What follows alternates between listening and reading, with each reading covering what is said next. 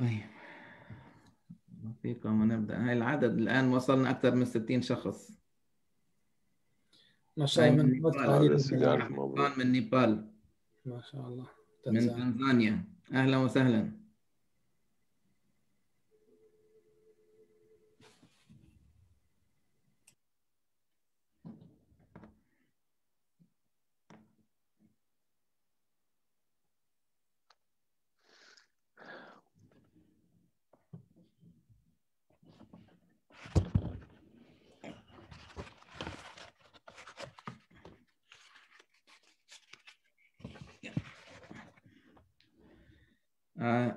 أتصور نبدأ وإن شاء الله على ما نبدأ يمكن حنكون بالبداية. الناس عندها مجال لأنها تدخل بإذن الله. طيب. تفضل يا فادي. الله يزيد فضلك. السلام عليكم ورحمة الله وبركاته وأهلا وسهلا بكم جميعا في هذه الورشة التفاعلية من اتحاد رعاية الأيتام الذي بدأناها السنة الماضية بأسباب كورونا. وورشتنا هذا اليوم في هي موضوع تنمية الموارد للمؤسسات العاملة مع الأيتام. وبداية أبارك لكم قدوم الشهر الفضيل شهر رمضان المبارك الذي يعني يبدأ غدا بإذن الله. فكل عام وأنتم بخير. نسأل الله سبحانه وتعالى أن يكون شهر خير ورحمة على الجميع بإذن الله. وأهمهم هؤلاء الأشخاص الذين يعيشون في المخيمات أو الذين هم يعني انقطعت بهم السبل.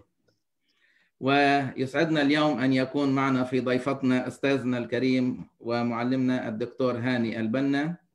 ونعطيه يعني دقيقة للتحدث. دكتور قبل ما نفتتح برنامجنا وبعدها أيضا معنا ضيفنا الكريم من كندا صاحي مبكرا الآن الساعة 9 صباحا في كندا الدكتور عبد المنعم الدائمي. فنعطي بداية دكتور هاني كلمة لحضرتك دقيقة وبعدين كلمة للدكتور عبد المنعم ونبدأ برنامجنا بإذن الله. الحمد لله والصلاة والسلام على رسول الله. بشكركم جميعا على حسن ثقتكم بنا بيا وبالأستاذ عبد المنعم. وإن شاء الله نهنيكم بشهر رمضان وتكونوا من الفائزين الغانمين بإذن الله سبحانه وتعالى. وربنا ييسر لنا أمورنا كلنا في رمضان وبعد رمضان. وأتمنى أن ما سيطرحه الأستاذ عبد المنعم علينا جميعا تكون هي علامات للطريق في كيف نعمل في هذه المنظومة الإنسانية. تفضل يا فادي. دكتور عبد المنعم الميكروفون على حضرتك. السلام عليكم ورحمة الله. شكرا أخي فادي على هذه الثقة وعلى هذه الفرصة وتحياتي لكم جميعا. رمضان مبارك عليكم علينا وعلى الأمة الإسلامية جمعاء. أنا يشرفنا أن أكون مع أستاذي ومعلمي دكتور هاني البنا وأن يعني يلتقي ببعض الإخوة من مختلف الدول. وللحديث على موضوع هام جدا يعني يهم كل الجمعيات العاملة في هذا المجال.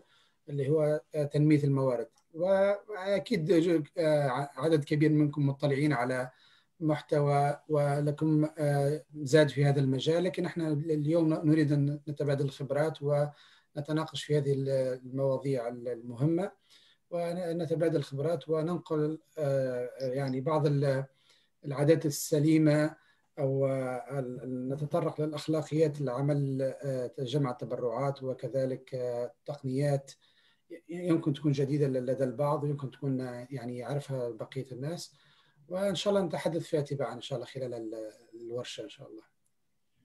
حياكم الله واهلا وسهلا بكم وأبدأ إن شاء الله مشاركة الشاشة. طيب. واعتبارات بسيطة قبل أن نبدأ ورشتنا وهي أنه أي تفاعل لو سمحتوا ممكن كتابته في الدردشات. زملائي وزميلاتي موجودين ممكن أن يساعدوكم في أي شيء.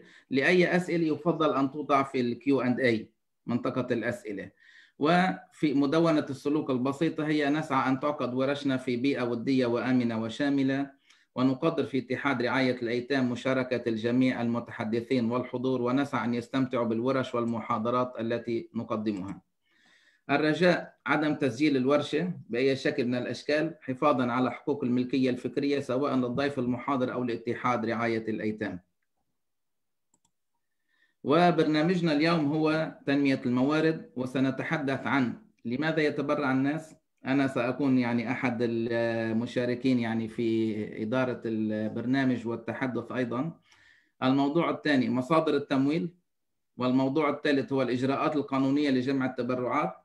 وختامها مسك مع الدكتور هاني البنا وهو سيتحدث طريقة صراحة بطريقة المحسن أو المتبرع نفسه. معلومات مهمة جدا يعني ستسمعوها في تقريبا قبل نهاية جلستنا اليوم. وضيفنا الدكتور هاني البنا وهو حاليا رئيس منتدى العمل الإنساني العالمي ومركزه في المملكة المتحدة بريطانيا. الدكتور هاني له أكثر يعني من 37 أو 40 سنة في العمل الإنساني وهو مؤسس الإغاثة الإسلامية عبر العالم التي مركزها بريطانيا وتعمل في أكثر من 50 دولة حول العالم وحاز على العديد من الجوائز في العمل الإنساني وحتى دكتوراه فخرية غير الدكتوراه اللي هو مكتسبها علميا. وأيضا جاء مؤخرا السنة الماضية جائزة إيبوتو من جنوب أفريقيا. إذ الحقيقة لو أتحدث عن الدكتور هاني لا تسعنا مدة الورشة. وضيفنا وصديقنا العزيز الدكتور عبد المنعم الدائمي وهو يعني شريك في الكشافة نحن سويا خريجي الكشافة وهو خبير دولي في العمل الإنساني وحاليا موجود في كندا عمل في لبنان وعمل في تونس وممكن أن تسألوا أين عمل أكثر يعني عمل في عدة منظمات محلية ومنظمات دولية. وهو خبير دولي في العمل الإنساني وحتى هو عضو في مجلس أمناء في بعض المنظمات في العمل الإنساني في سويسرا وغيرها. ومحدثكم فادي إسكندراني وأنا حاليا المدير التنفيذي لاتحاد رعاية الأيتام. ونبدأ في سؤال لماذا يتبرع الناس؟ ولو تشاركوني على التشات أنا سأذكر خمسة أشياء. هي لماذا يتبرع الناس؟ الأنا أو التكافل الاجتماعي أو الثقة أو الإيثار أو التخفيض؟ إذا ممكن على التشات تكتبوها كما ترونها واحد اثنين ثلاثة أربعة خمسة. هل بوجهة نظركم تخفيض الضريبة هو رقم واحد؟ هل الثقة هي رقم واحد؟ إذا ممكن تشاركونا فيها على التشات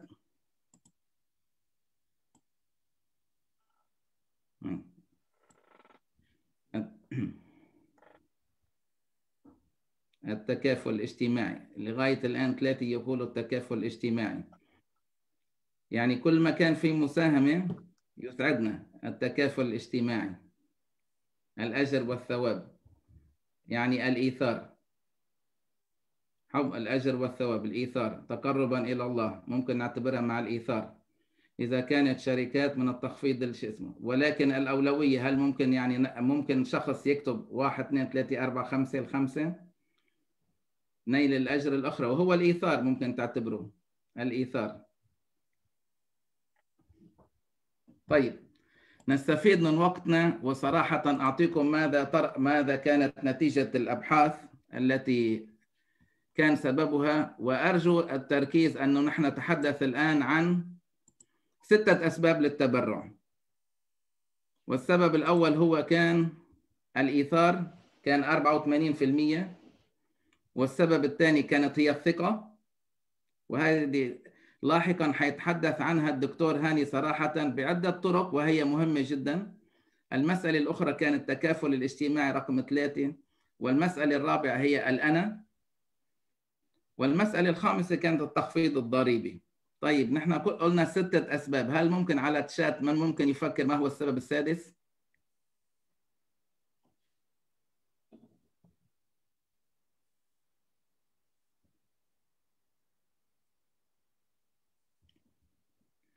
إنساني. الزكاة. باعتقادكم ما هو السبب السادس؟ الوازع الديني. ممكن الاستدامة الشعور بالمسؤولية الإنسانية. حتى الزكاة يعني السبب اللي أنا حأذكره الآن قد يكون قد لا يعني تكون الزكاة بسببه أيضا. الرحمة الزكاة العاطفة. طيب في أي مشاركات أخرى؟ تراحم أهداف شخصية. ذكرناها بالأنا الأهداف الشخصية. التراحم ممكن كمان تدخل الكفارة كمان نفس الشيء. طيب أنا إذا تسمحوا لي أهم سبب للتبرع واللي هو هذا بناء على الأبحاث هو الطلب. إنك أنت تطلب التبرع. حتى الزكاة يعني إخواننا أخواتنا في العديد من الناس ممكن عليه واجب الزكاة هو لا يدري. فبالتالي مسألة حتى الطلب قد تكون وازع ومساعد في هذه المسألة. ونأتي إلى الموضوع الثاني وهو مصادر التمويل. أنا الحقيقة كتبت سبعة مصادر للتمويل. البعض يقول أربعة البعض يقول خمسة ممكن حتى نجزئها أكثر ولكن أنا وجدت أن هناك سبعة مصادر للتمويل. يعني عندما بدأنا العمل في العمل الخيري مع أستاذي الدكتور هاني من أكثر من 30 سنة كان رقم واحد بالنسبة لنا لجمع التبرعات هو المجتمع المحلي وكان أساسي جدا صراحة هو كيف نتفاعل مع المجتمع المحلي. المسألة الأخرى هي المسؤولية المجتمعية الشركات التجارية وليس شرط أنه تكون فقط هي مسألة التهرب الضريبي لأنه مسألة المسؤولية المجتمعية الآن صارت هي كمسؤولية من الشركات العملاقة اللي صار عندها المليارات أنه أنا ماذا يجب أن أساهم في هذا المجتمع؟ وليس فقط كما قلت الضريبة. المسألة الثالثة هي استخدام التقنية الرقمنة. المسألة الرابعة هي الوصايا والأثلاث. حنتحدث عن هذه الأشياء صراحة باختصار وبعض الأشياء اللي حسيناها مهمة حيتطرق لها الدكتور عبد المنعم بتوسع أكثر. المسألة الرابعة هي تنمية الوقف. أنا لما ما قلت الوقف قلت تنمية الوقف لأنه ممكن واحد اثنين ثلاثة أربعة يساهم إلى تملك وقف وتنمية وقف. وبعدها بصير الوقف هو منتج لعملنا. المنظمات الدولية والجهات الحكومية. ووضعت صراحة وكالات الأمم المتحدة وضعت لوحدها. البعض ممكن يحطها مع رقم ستة ولكن أنا فضلت أني أضعها لوحدها. والآن الميكروفون عندك أخي دكتور منعم. شكرا أخي الأستاذ فادي. كما تحدثت هناك يعني طرق عديدة لتمويل مشاريعنا الإنسانية ولتنمية الموارد.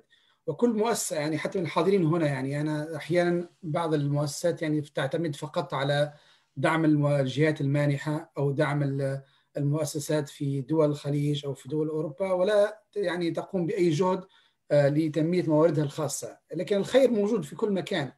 الآن أنت تنزل يعني تنزل الصومال وتقدر تجمع تبرعات في الصومال، تنزل غزة ما شاء الله تلقى مين يتبرع في غزة؟ يعني ينفق إنفاق كبير لفائدة مشاريع إنسانية داخل البلد أو خارج البلد، فالخير موجود في كل مكان، يعني ينبغي فقط من المشرفين على المؤسسات الإنسانية أن يبذلون جهد ويصير يعني يعتمدون طرق مبتكرة. طرق بسيطة جدا. المجتمع المحلي أولا يمكن الإنسان من خلال التواصل المباشر مع الناس. يعني يمكن التواصل المباشر مع الناس سواء كان من المقربين الإنسان يبدأ من المقربين أو من يعني باستعمال دعاية جيدة المتبرعين يعني يأتون للمكتب أو من خلال زيارات للبيوت. هذه خلال التواصل المباشر في فكرة السوق الخيري يعني سواء من خلال تنظيم اللوجستي لسوق خيري وإيجار المكان وتحقيق جزء من الأرباح أو والأهم اللي السوق الخيري الذي تنظمه الجمعيات من خلال بيع منتوجات المنتفعين أو الأرامل أو أو منتوجات الأيتام. فهذا مهم جدا هذه طريقة مميزة كذلك. المسألة الأخرى الحفلات الخيرية fundraising events سواء كانت منشدين أو يعني هناك عديد من الحفلات. هذه لها أولا تقدر تكون بعد ثقافي وتقدر يكون يعني لتنمية المواد وكذلك للتعريف بأنشطة المنظمة من خلال تجميع آلاف أو مئات الحاضرين. أو من خلال الأنشطة والمهرجانات. يعني عديد الأنشطة التي يمكن أن نقدمها سواء كان للأطفال أو يعني يعني فئات عديدة من المجتمع. أيضا من خلال المعارض. يعني معارض مزادات علنية مزادات صامتة.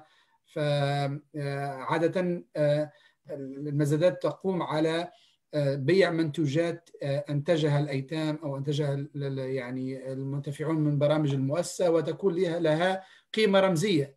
أحيانا رسمة صغيرة بسيطة للتيم المكفول تباع في مزاد علني إنساني يعني في حفل خيري كبير تباع يعني بقيمة يعني أحيانا لا نصدقها أصلا يعني بالملايين. فهذه مهمة جدا ولازم يعني يجب على الجمعيات أن يعني تقوم بتجربة سواء كانت كل هذه أو تتخصص في في مسألة طريقة معينة للتمويل. more next أخي. فكذلك في من تبرعات من خلال المساجد ودور العبادة. يعني إحنا للأسف السنة الماضية تعطلت يعني أغلب الصلوات في المساجد وأغلقت المساجد للأسف جراء فيروس كورونا وسنرى في يعني في بقية الورشة ما هو الحل لذلك. فالمساجد تلعب دور كثير كبير جدا في موضوع جمع التبرعات وأغلب المؤسسات الإنسانية تنطلق من المساجد لأن رواد المساجد أغلبهم ملتزمون الذين يرغبون في يعني في تبرع الصدقات والزكاة و يعني صراحة حتى الخطاب المستعمل داخل المسجد يؤثر بطريقة إيجابية للناس للتبرع والإنفاق. أيضا من خلال المدارس والمعاهد والجامعات وتتعدد الطرق جمع التبرعات وهذا وتنطلق حتى من الطفولة. أنا الآن عايشين في كندا نحن بناتي كل تقريبا أسبوعين ثلاثة في المدرسة يقومون بحمل لجمع تبرعات لهدف إنساني لبرنامج إنساني معين. ويغرسون حب العمل التطوعي وحب والتأثير والقدرة على التواصل مع الناس من من الصغر. وهذه مسألة مهمة جدا. أيضا أنا شفت في عدد كثير من دول الخليج خاصة الأكشاك وال وال حتى في أنا هذه الصورة أخذتها في في لبنان من جمعية الرعاية أصدقاء من جمعية الرعاية. يعني أكشاك في وسط المدينة والناس تأتي وتسأل على العمل الإنساني وت يعني مباشرة تشتري قصاصة معينة تتبرع من خلال دعم مشاريع الأيتام أو دعم المشاريع الصحية أو غيرها من المشاريع. وهذه طريقة جيدة ومباشرة وأنت تمشي للمواطن وللمتبرع إلى يعني إلى مكانه. يعني في حسن اختيار المكان نصب الكشك مهم جدا. وكذلك حسن اختيار المتطوعين والمشرفين على عملية الإقناع مهمه جدا. بالنسبة للموضوع الآخر هو التحديات والأنشطة التي يعني نقوم بها مثلا يعني يمكن تعمل سباق. سباق والناس المشاركين يدفعون مبالغ للمشاركة. هنا بعض الأمثلة الحية التي نظمناها في كندا. في حتى بعض الزملاء رموا حالهم من الطيارة. يعني هذه الغوص في الفضاء في الفضاء يعني لجمع تبرعات لموضوع معين. موضوع التحديات هذه أنت تقوم بعمل يعني تحدي اللي هو صعب وتش يعني تقنع الناس لدعمك لأنك تقوم بالتحدي هذا لتجمع تبرعات لهدف لمشروع إنساني معين. مثلا هنا في البايك فور بوسنيا يعني لأنه إحنا نعرف الرحلة تبع 25 كيلومتر ما بين توزلا وسربرينيتسا يعني عادة لتخليد ذكرى مذبحة سربرينيتسا ففي تلك في هذه في ذكرى الاحتفال السنة الماضية قمنا بتحدي 25 كيلومتر بايكينج يعني باستعمال الدراجات وشاركوا فيه عدد كبير من الناس. وكل مشارك يدفع مبلغ تقريبا 300 دولار لدعم المشاريع في البوسنة. نفس الشيء تحديات في موضوع التجديف تحديات في موضوع في مواضيع عديدة في دورات كرة القدم تحديات لصعود أعلى قمة في العالم كذلك دورات يعني مشروع إنسباير للتطوع الدولي. كل هذه برامج يعني نترك المجال للجمعيات اللي تعطي برامج فيها جاذبية للمجتمع. مش فقط يعني يمكن يمكن لما تيجي تطلب مباشرة من متبرع عشان يتبرع لك 100 دولار ما يتبرع ب 100 دولار. لكن لما تدخلها في إطار برنامج شيق يستفيد منه هو أو ابنه أو جاره أو المؤسس تبعه فينطلق ويشارك ويدفع حتى أكثر من المتوقع. وإحنا مش حاجتنا بس بالمتبرع لحاله إحنا نحتاج وصول المعلومة لأكثر عدد ممكن من محيط المتبرع لعائلته وزملائه فيصير هو دال على الخير. فبدل أنك تستقطب فقط شخص واحد مهتم بال بال بمشروعك الإنساني تكون مؤثر في محيط هذا الشخص أكثر. أه، تفضل أخي فادي. تصور النقطة القادمة لك أنت.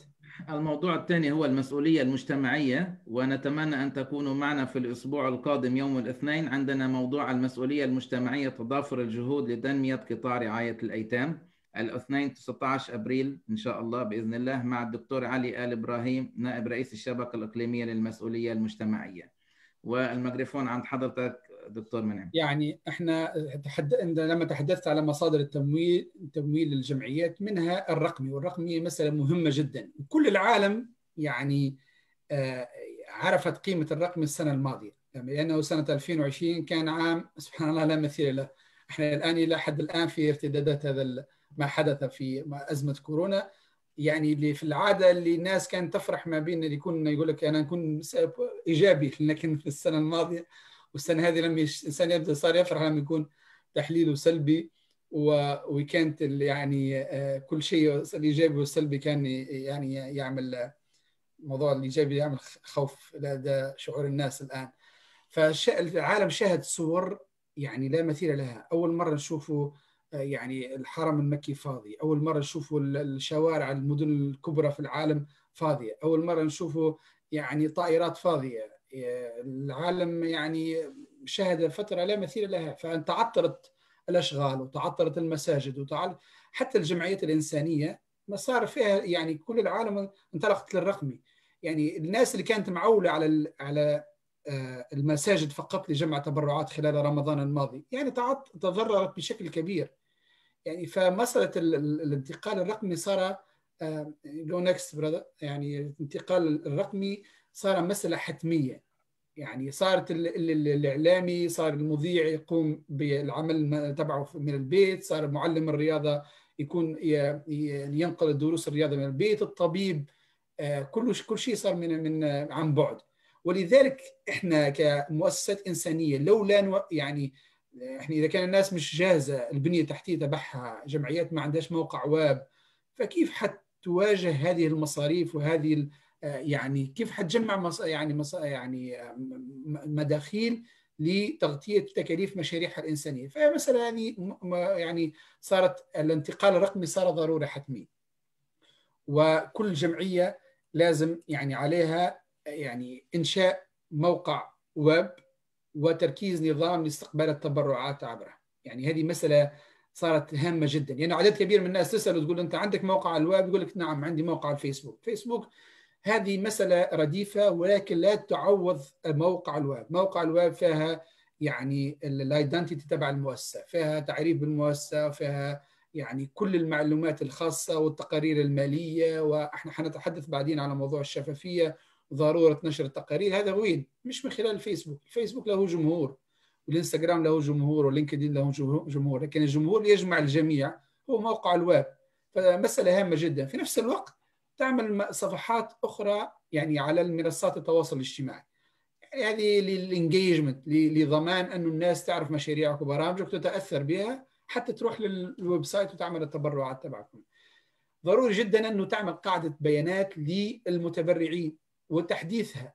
يعني أنا في ناس تقول أنا عندي المتبرع هذا يعطيك العنوان تبعه اللي صار له خمس سنوات. الرجل غير أربع بيوت وأنت لسه ما ما حدثتش قائمة التبرعات تبعك. فيعني المتبرعين. قاعدة البيانات مهمة جدا. يعني أنت لازم تعرف مين المتبرعين تبعك مين أقسامهم آه، تصنيفهم وين يسكنوا إيش الاهتمامات تبعهم. مسألة مهمة جدا. لازم تعرف جمهورك المستهدف من خلال مشاريعك الانسانيه من خلال حملاتك الدعائية لبرامجك.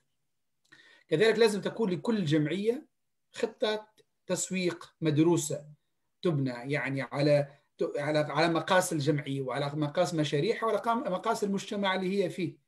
فمش نفس الشيء اللي يمشي في لبنان اللي هو نفسه يمشي في في, في السعودية ويمشي في تونس وفي كندا. كل بلد عنده طبيعة معينة وعنده واقع معين فموضوع هذا مهم جدا. ونفس الشيء لازم هناك ارتباط وتنسيق كبير ما بين فريق الماركتينج داخل المؤسسة وفريق البرامج. لازم أن لما أنت إنسان تعمل دعاية لمشاريعك عشان يعني تحشد الدعم لمشاريعك الإنسانية لازم تكون عندك مقترحات مشاريع مميزة ومدروسة بطريقة آه، آه، هامة وما فيهاش لبس ما فيهاش يعني واضحة. يعني لما يكون آه، المشرفين على تنمية الموارد داخل المؤسسة يعني لازم لما يحكي مع المتبرع لازم يحكي على قاعدة سليمة عنده في يده يعني دراسات مشاريع واضحة فيها ما فيهاش مشاكل. نفس الشيء كنا تحدثنا على موضوع الفهم العميق للجمهور المستهدف. لازم تعرف الجمهور تبعك إيش يعني إيش المسألة تهمه. إيش البرنامج لما تحب تقول أنا نحب نعمل نشاط أو معرض؟ يعني لو أنت جمهورك أغلب المتبرعين تبعك يهمهم الثقافة يهمهم موضوع الرسم يهمهم مسائل مثل هذه تعملها معرض في هذا الإطار. لما جمهورك اغلبه مهتم بالرياضة والكرة وال PlayStation ومش عارف إيش. تعمل برامج وأنشطة تتماشى مع طبيعة الجمهور اغلب طبيعة الجمهور تبعك. يعني شفنا إحنا يعني توصلنا كيف من خلال زياراتنا للفيلد وتعاملنا مع الجمعيات عدد كبير من الناس تفتقد لخبرات في هذا الإطار وتفت يعني تتطلب يعني بناء قدرات في هذا المجال. لأنه يعني صحيح تحدثنا كثيرا الآن وتحدثنا على أفكار عديدة يمكن تنفيذها تحدثنا على موضوع الانتقال الرقمي وضرورة تطوير الانتقال الرقمي لكن في ناس يعني في جمعيات لسه يعني تنتظر مين يقدم هذا الدعم. ويعني إن شاء الله من خلال اتحاد رعاية الأيتام نحن جاهزون إذا كان أي فرصة لتقديم يعني دعم لكل الجمعيات إحنا جاهزين إن شاء الله فقط لأننا نحتاج تنسيق مع الإخوة. هناك يعني هذا يعني هناك منصات ندفع من خلالها تبرعات المتبرعين يدفعون من خلالها.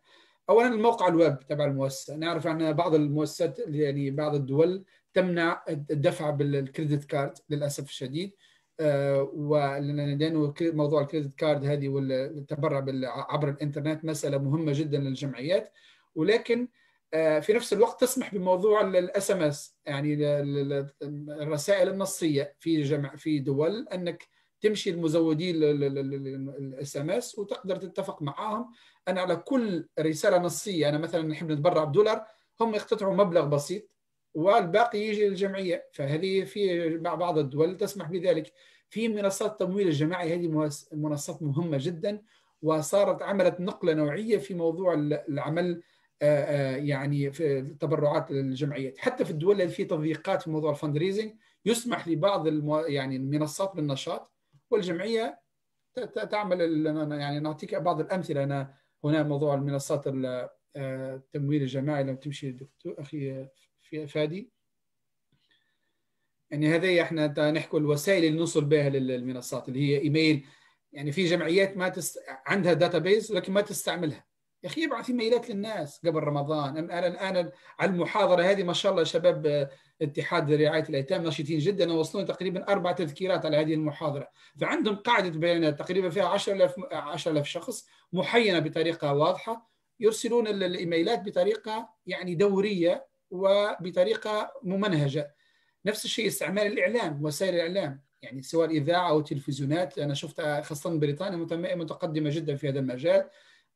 قنوات الحوار وغيرها تفتح المنصة تبعها عشان الناس تعمل تبرعات من على موضوع معين. تستدعى الجمعية تعرض الفيديوهات تبعها ويكون في متحدث يقنع الناس التبرعات عبر مواصل يعني مواقع التواصل الاجتماعي عبر رسائل البريد التقليدي تبعت رسالة قبل رمضان. هذه مكلفة سنرى الفرق بعد يعني لحظات.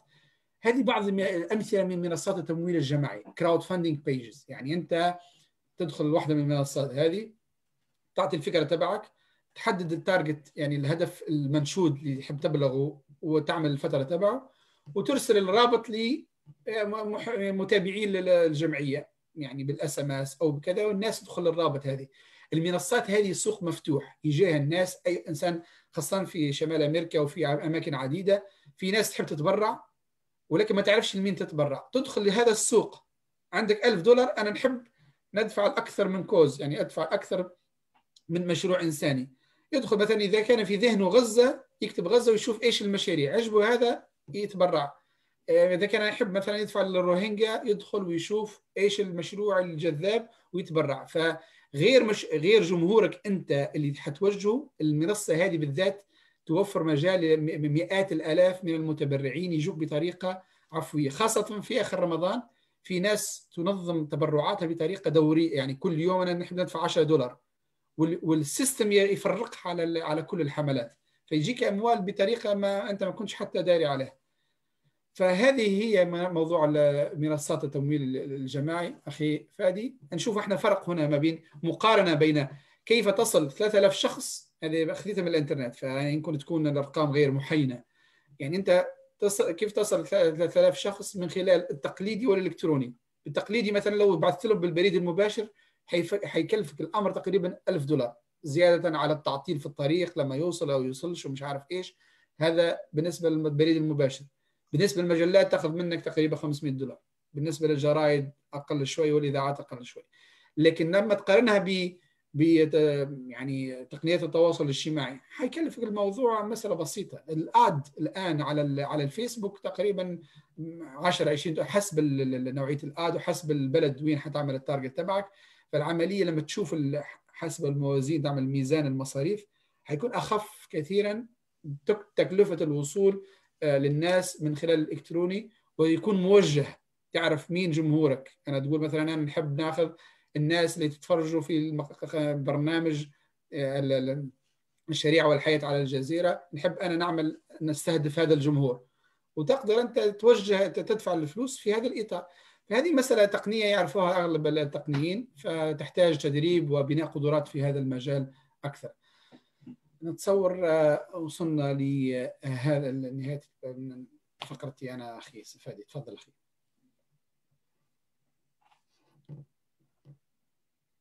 مش سامعينك أخي فادي ميوت يا فادي.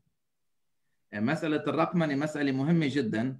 نحن في اتحاد رعاية الأيتام يعني مثلا جوجل على سبيل المثال تقدم منح كثيرة للمؤسسات الخيرية وتقريبا الآن صارت بتغطي مناطق كبيرة. سابقا كانت أمريكا بعدين أوروبا والآن وصلت حتى أعتقد للعالم العربي لموضوع الإعلام جوجل آد. نحن مثلا نفتح إيميلاتنا كلياتها على جوجل مجانا. هذا كله. أما لو أنت تجاري تدفع على كل إيميل 5 دولار يمكن شهريا. الآن الموضوع الثالث هو موضوع الوصايا والأثلاث وأتحدث فيها بسرعة. تمثل الوصايا حقيقه جزء مهم من إيرادات. أنا حأخذ بريطانيا ككيس ستدي نموذج. الوصايا بالنسبة للإيرادات في المنظمات الإنسانية في الغرب تمثل حقيقة يعني نسبة كبيرة. على سبيل المثال مؤسسة ماكميلان اللي بتشتغل بموضوع السرطان يعني البحث عن السرطان أو دعم الأشخاص اللي عندهم مرض السرطان تجمع تقريبا أكثر من 100 مليون. هي باسترليني 77.7 مليون جنيه استرليني. تقريبا 100 مليون دولار من الوصايا سنويا من إيراداتها. وفي بريطانيا مثلا على سبيل المثال في 2019 120 ألف إنسان أوصى بجزء من ماله للأعمال الخيرية ومتوقع أن يرتفع هذا العدد إلى 200 ألف إنسان في 2045 فالشاهد بالمسألة أنه مسألة الموارد من الوصايا والأثلاث مسألة مهمة جدا. الموضوع الأثلاث الحقيقة نحن كمسلمين يمكن للإنسان أن يوصي بثلث ماله للتبرع. لا يمكن أن يقول مالي كله للعمل الخيري. ثلث المال يحق له التصرف فيه ويعني هذه المسألة بالذات للمؤسسة التي تريد أن تشتغل فيها تحتاج إلى إنسان شرعي عنده خبرة في هذا المجال تحتاج إلى المحاميين. هي ليست مسألة أنه فقط الوصايا والأثلاث إنما تحتاج شغل. نحن يعني هدفنا اليوم إنه أن نلقي الضوء على عدة مصادر الموارد المالية. تحدثنا عن الديجيتال بشكل مسهب مع الدكتور منعم لأن مسألة مهمة جدا جدا. الدكتور هاني حيعطينا المواضيع الأخلاقية لاحقا. إنما نحن نريد أن نلقي الضوء على هذه الأمور وعلى المؤسسات أن تبدأ يعني العمل عليها. هذا البرنامج صراحة اللي نتحدث عنه اليوم خلال ساعة ساعة ونص احتمال نصل إلى ساعتين. هو يحتاج برنامج تدريبي مدته بالعادة ندربه على مدى 20 يوم. قيمة أموال الوصايا في بريطانيا وصلت إلى 3.3 مليار دولار في العام في السنة ومتوقع أن تصل أموال الوصايا خلال الخمس سنوات القادمة إلى أكثر من 18 مليار دولار. أنا تقريبا هي الأرقام باسترليني وحاولت أني أحطها بالدولار الأمريكي. فإذا مهمتنا نحن كمؤسسات خيرية تعمل في العمل الخيري الوصول إلى المحسنين المتبرعين في البلد الذي نعمل فيه إقناعه. كيفية إقناعه؟ الدكتور هاني الآن سيتحدث معكم لاحقا حيعطيكم تقريبا 37 نقطة لما يجب أن تكون عليه المنظمة لحتى تصل إلى هؤلاء المحسنين والمتبرعين في موضوع الوصايا والأثلاث ولكن هي مسألة مهمة جدا. في منطقة الخليج العربي صراحة مستوى الوضع الاجتماعي والاقتصادي أفضل. المسألة موجودة عندهم مسألة الوصايا والأثلاث. الأوقاف. كما تحدثت سابقا نحن يجب علينا أن مؤسسات خيرية أن نعمل لتنمية أوقافنا. وهنا أريد أن أتحدث أنه أنت تجمع المال من أي إنسان. ممكن أن تجمع المال مرة واحدة من متبرع من حكومة وممكن أن تجمع المال من أفراد. وأن يكون المال هو الموقوف وبالتالي في هذا المال ممكن أن تعمل فيه مشروع. أعطيكم نموذج. نحن جمعنا مبلغ من المال آه، للمؤسسة اتحاد رعاية الأيتام. تملكنا الآن عقار في إسطنبول من ستة طوابق. نشغل منه طابق واحد للمكتب وخمس طوابق مؤجرة. الآن بالنسبة لنا للاتحاد ديمومة استقرار. أنا مش مضطر كل مرة صاحب العقار يقول لي يا فادي انتهى آه، تاريخ الاستئجار وأنا أريد المكان لو سمحت أطلع. هذه مسألة. المسألة الثانية اللي أنا عندي مردود شهري. والمسألة اللي هي أنا كتبتها هون أنه ليس فقط أن يكون الوقف العقار هو الوقف للأسف بعض الناس تعتقد عندما نتحدث عن الوقف يذهب ذهنه مباشرة إلى هو عقار. هذا ليس آه، مش مش مش يجب أن يكون بهذه الطريقة. المشاريع الوقفية مشاريع عديدة. ممكن يكون منها مطعم مثلا بلدية إسطنبول تقريبا أو أغلب البلديات حتى في تركيا عندها مطاعم منتشرة في كل تركيا تعملها موارد شهرية. ممكن شركة سيارات أجرة ممكن غرف فندقية ممكن تتملك فندق. ممكن رفوف وقفية في السوبر ماركت أجهزة تؤجرها في المستشفيات. الأفكار بالنسبة للأمور الوقفية أرجو أنه لا تقف عن أنه فقط أن تكون عقار. المصادر الأخرى اللي صراحة يتحدث عنها الجميع وقد يكون ممن حاضر معنا هو أخصائي فيها جدا هي الموارد المالية من المنظمات أو ما نسميه المؤسسات بالإنجليزي بنقول له ال institutional fundraising وهي هذه صراحة لديها مكانين. هي أما المؤسسات وأما الحكومات، البعض يعتقد إنه هل الحكومات عندها أموال لي أنا كمؤسسة خيرية؟ نعم، الحكومات لها أذرع مثل هذه المؤسسات. سيدا هي السويدية، GIZ الألمانية، آه، DFID كانت سابقا في بريطانيا الآن انضمت مع وزارة الخارجية مع FCDO صارت، فهذه الحكومات لديها أموال، أيضا السفارة في بلدك لديها أموال وممكن أن تدعمك إنما الشروط سنأتي عليها لاحقا حتى تدعمك المؤسسة. بعض الشروط وجود التسجيل القانوني. ولا بس ما يعتقد إنسان إذا أنا سجلت مؤسسة الشهر الماضي ممكن هذا الشهر أني أقدم على الانستتيوشن المؤسساتي هذا الكلام غير صحيح. يجب أن يكون مدة زمنية مر عليه هذه المؤسسة أقلها ثلاث سنوات. يجب أن يكون هناك قائمة بالإدارة كاملة. يجب الالتزام بالحوكمة الرشيدة وهذا صراحة كل المؤسسات تطلبها. الهيكل التنظيمي للمؤسسة هذا مهم جدا وبالتالي من هم مجلس الأمناء؟ في ناس تعتقد أنه أنا عملنا اشتغلنا ميزانيتنا السنوية 20 مليون. نحن نعمل في عدة أماكن. ولكن مؤثر جدا من هم مجلس الأمناء حتى المؤسسة الدولية تريد أن تعمل معك. المسألة الأخرى هي وجود سياسات سياسة مشتريات سياسة الموظفين سياسة الحماية سياسة العدل ما بين الجنسين. كل هذه الأشياء ولكن ما نريد سياسات مكتوبة على الورق نريد سياسات مطبقة ومعمول بها. وتحتاج إلى خطابات تزكية من شركاء إما عملت معهم سابقا أو من جهات معروفة خطابات تزكية حقيقية وليس خطابات تزكية فقط لمجرد الحصول على التمويل. هذه بعض المصادر صراحة. الفكرة بالنسبة للموارد المالية من المؤسسات أنت لا تعتقد في قرارة نفسك أنك أنت حديث العهد عليها ممكن أن تصل إليها. تحتاج شخص خبير وعنده الخبرة في هذا المجال وبنى فيها سنوات من العمل. وهذه المؤسسات الدولية كلها بتحط مشاريعها على منصات. هذه بعض المنصات اللي ممكن أنه تجدوا عليها أموال. إذا طبقت الشروط اللي موجودة في الصفحة السابقة ممكن أنك تحصل على الأموال من هذه المؤسسات. هذه ليست المنصات الوحيدة على الأكيد في منصات عديدة أخرى كثير أما بالنسبة للأمم المتحدة فأنا حبيت أني أحطها في لوحدها. البعض يعتقد أن الأمم المتحدة هي أوتشا. منظمة العمل الإنساني فقط أو البعض يعتقد هي وكالة اللاجئين أو البعض يعتقد وكالة العمل. منص... الأمم المتحدة لديها دكتور هاني على الأكيد أخبر مني في هذه المسألة. العشرات والعشرات من المنظ... من الوكالات التي تعمل في العديد من البلدان ولديها مكاتب ولديها منظومة معينة في التعامل. فبالتالي يجب أن تعرف كيف هي هذه المنظومة تحتاج الشخص اللي ممكن أن يساعدك في هذه المنظومة يعني البعض يعتقد إنه منظمة العمل الدولية فقط هي مساعدة من يعمل ولكن منظمة العمل الدولية لديها مشاريع على الأرض وتبحث عن شركاء وتريد من تعمل معه إذا توفرت فيه الشروط التي تحدثنا عنها سابقا. من الأوراق المطلوبة على سبيل المثال التي تطلبها وكالات الأمم المتحدة هي سيرة ذاتية سي في لكل من يعمل في المؤسسة. على سبيل المثال نحن قدمنا إلى يو ان وومن واشترطوا أن يكون نصف مجلس الإدارة ونصف العاملين من النساء.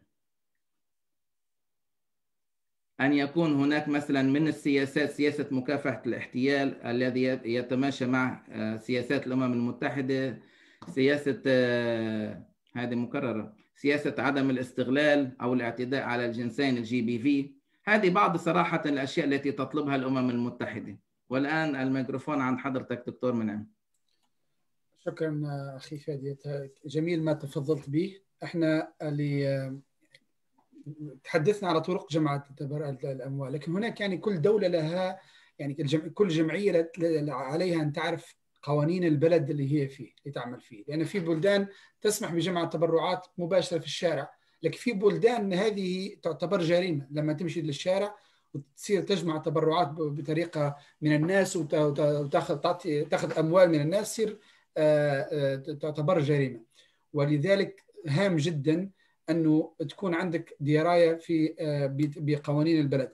أنا نتصور في في كندا مثلا لما تكون الجمعية مسجلة وتحترم القانون وتعطي تقاريرها كل طرق جمع التبرعات تقريبا مسموح بها. مثلا في تونس أعلم أنه لا تستطيع جمع تبرعات إلا من خلال تحصل على يعني ترخيص للاكتتاب العمومي.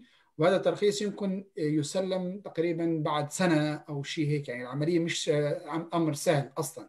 وغير قادر أنك تفتح حساب للزكاة. يعني غير قادر أنك تقول هذا حساب للزكاه أو نجمع الزكاة لأن الزكاة يعني في كثير توجيه ان الزكاه تجمعها الدولة لا يجمعها المواطنون لا الجمعيات. لبنان أنا شفت عشت في لبنان واشتغلت هناك يعني كان في ليونة لأن لبنان الميزة تبعها يعني يعني الجميع يعمل حرية كبيرة يعني كل واحد في قوانين قوانين البلد لكن في ليونة ويعني موضوع جمع التبرعات متاح مع بعض الشروط. مش عارف في في تركيا وبريطانيا كيف الأمور عندكم؟ بريطانيا تقريبا الوضع القانوني إلى حد ما مشابه لما هو الوضع في كندا. أنت بسهولة ممكن أن تشترك مع أي شركة تقدم خدمة لتجمع التبرعات عبر الأونلاين عبر ال website. ما تحتاج أي شيء. إنما على سبيل المثال في تركيا تحتاج إلى موافقة من إدارة الجمعيات. هذه الموافقة ممكن تاخذ تقريبا أربع شهور. للحصول على هذه الموافقة. والحقيقة الأسئلة فيها أسئلة صعبة بيسألك من أين المصادر المال كم المبالغ المتوقعة أن تجمعها. فبالتالي هي ليست مسألة بسيطة. مؤخرا تركيا في القانون الذي صدر في ديسمبر من تقريبا أربع شهور أي إنسان يعمل حمله تبرعات أونلاين بكون أن يكون أخذ الموافقات القانونية مش فقط يغرم قد يسجن. فهذا بالنسبة لتركيا. يعني يعني الموافقة الترخيص لعمل الجمعية لأي حملة أو لكل حملة تعملها يعني ترخيص خاص لكل حملة للأونلاين. كل حملة يعني مثلا عملت مشروع لفائدة المشاريع الإنسانية في اليمن أو للأيتام عموما. صحيح. فكل صحيح. كل حملة تعملها للترخيص لحالها. صحيح. حتى لو كنت ستجمع على الطريق هذه تقريبا شروطها شبه صعبة جدا يعني بالنسبة يعني هو صراحة المؤسسة العمل الخيري في تركيا مش عمل بسيط عمل كبير وموجود والتسجيل لمؤسسة ممكن. ولكن البيروقراطية في إنهاء الأوراق صراحة بياخذ منك جزئية مهمة صراحة في مسألة التعامل معها. الكويت لا, لا يعني مؤخرا حسب ما سمعت الجمع النقدي تقريبا صار شبه ممنوع تماما. ممكن إنك أنت تجمع عبر رابط عبر عبر الإنترنت ولكن يجب الحصول على موافقة مثلا من وزارة الشؤون. الشاهد بالمسألة يعني الرسالة التي نحن نريد أن يعني نرسلها للناس إنه الناس يعتقد في قرارة نفسه انه التسجيل الرسمي لي كمؤسسة خيرية فهو كارت بلانش خط مفتوح أنا لأجمع التبرعات كيفما أريد. هذا الكلام ليس صحيح. يجب في كل بلد أنت موجود فيها أن تراعي القوانين الموجودة كل بلد لها قوانينها. نفس الشيء لما مؤسسة مانحة تنزل تشتغل في بلد يعني يحتاج مساعدة أيضا تتواصل مع الأشخاص يعني المؤسسات الحكومية الخاصة بهذه المسألة. يعني حتى لو نحن في بريطانيا نريد أن نجمع التبرعات في أحد الأماكن على سبيل المثال على باب محطة قطار لازم ناخذ موافقة من هذه الإدارة.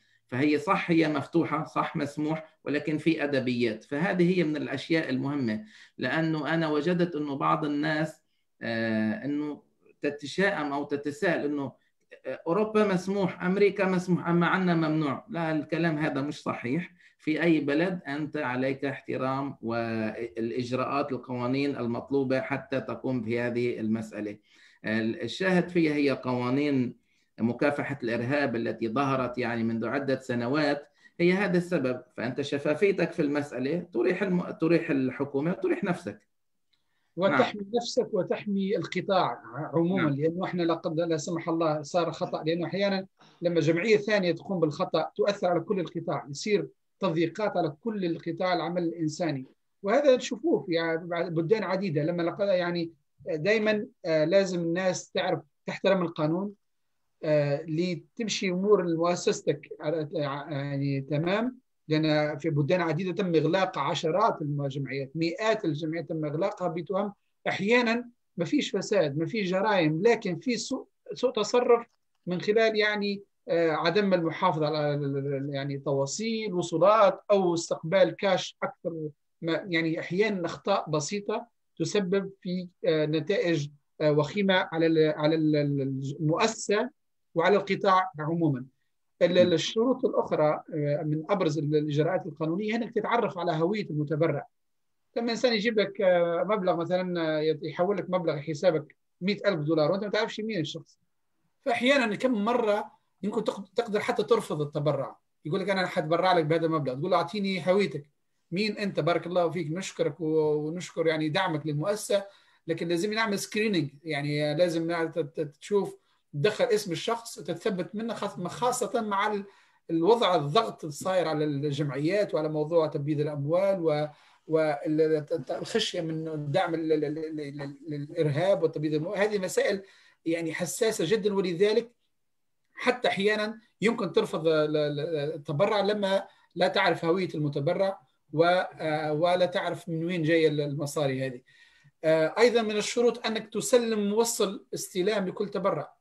أحيانا في ناس تحبك تقع في الخطأ أو أحيانا يعمل لك حتى بعض الحكومات اللي تحب مثلا توقع في الخطأ بعض الجمعيات الناس الجمعيات تبعث لك أشخاص يقول لك لا أنا ما بدي receipt. يقولوا لا لازم أعطيك receipt. تحب ترميه بعدين نرميه. لكن أنا لازمني نسجل التبرع اللي حصلت عليه يعني كاش أو غير الكاش. لازم دائما مقابل كل تبرع يخرج من المؤسسه receipt مرقما. وصل مرقما فيه رقم المبلغ وفيه يعني الرقم ال reference تبع ال receipt هذا. كذلك من أهم النصائح انه تفادي التعامل خاصة الآن صار طالما في إمكانية ال access للبنوك وغير يعني تفادي تعامل نقدي أكثر ما يمكن الكاش. في دول عديدة the limit يعني يعملوا limit ل الأقصى مبلغ يمكن يتحصل عليه كاش 500 دولار.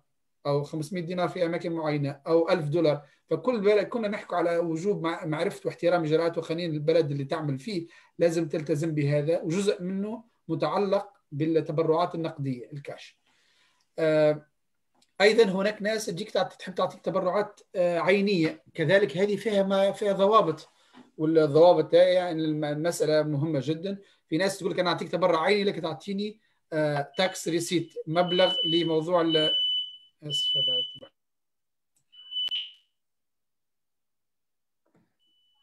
هون يجربوا في موضوع المطافئ فلو تحب تمشي لل slide اللي بعدها ده أخي فادي. طيب هو مسألة احترام القوانين بالنسبة للتبرعات العينية التقارير المالية ونشرها هذه مسألة مهمة جدا. آه، على المؤسسة سيذكرها الآن الدكتور هاني بتفاصيل أكثر. آه، خلصت المنبه تبع الحرائق المفيد يعني من أهم الإجراءات أيضا يعني لازم إرساء سياسة لحفظ المعلومات لدى المنظمة. يعني ضروري جدا نحمي المعطيات الشخصية للمتبرع وكذلك للمنتفعين من المساعدات لأن عدد كبير من المتبرعين يلقى رقمه وعنوانه على قارعه الطريق. يعني يلقاها مثلا الموظف هذا خرج اليوم من مؤسسة A يمشي المؤسسة B ياخذ معاه الملف ويصير يرسل SMS وإيميلات تبرع لنا يعني أنا تبرعت المنظمة الأولى. إيش تعمل يعني عناويني؟ و... أسف أخي كمل أخي فادي طيب هي مسألة حفظ المعلومات. آه، طبعا أوروبا وأمريكا لديها شروط بمسألة انتقال المعلومات ومسألة إنه أنك أنت تبيع المعلومات. وصار في عليها صراحة قوانين صارمة جدا. البعض صراحة يأخذها بمسألة بسيطة جدا وهي ليست مسألة هينة جدا يعني حتى مؤخرا آه، ممكن أن يدخل الناس إلى السجن في لهذا آه، السبب. آه، مسألة شروط المتبرع أنه ما ممكن مثلا إنسان متبرع يقول لك هذه الأموال تصرف لليمن وأنت تصرفها لبلد آخر أو مشروع معين مثلا على سبيل المثال حفر آبار أنت تصرفها كفالات أيتام. هذه المسائل ما ممكن أنه يتم التعامل معها بطريقة صراحة بسهولة ويسر يجب أن تكون ضمن الشروط اللي يتم التبرع على أساسها. آه، دكتور منعم معنا؟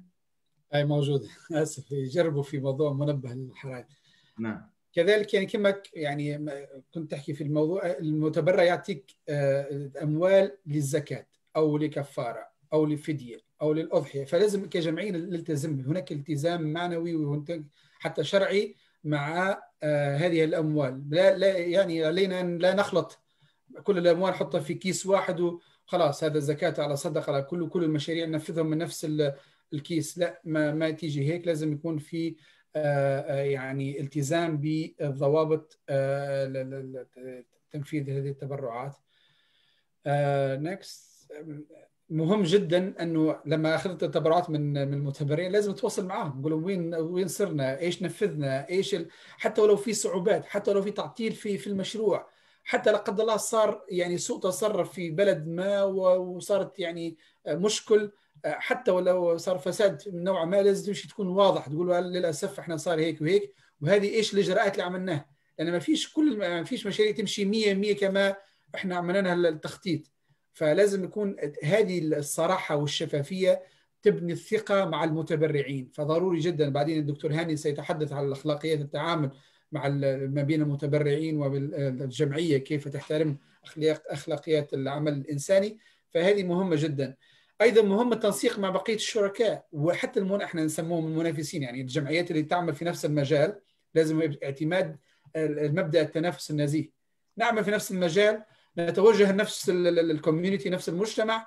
ولذلك علينا أن نتحلى بروح تنافسية يعني روح في أخلاق في أخلاقيات العمل هذا.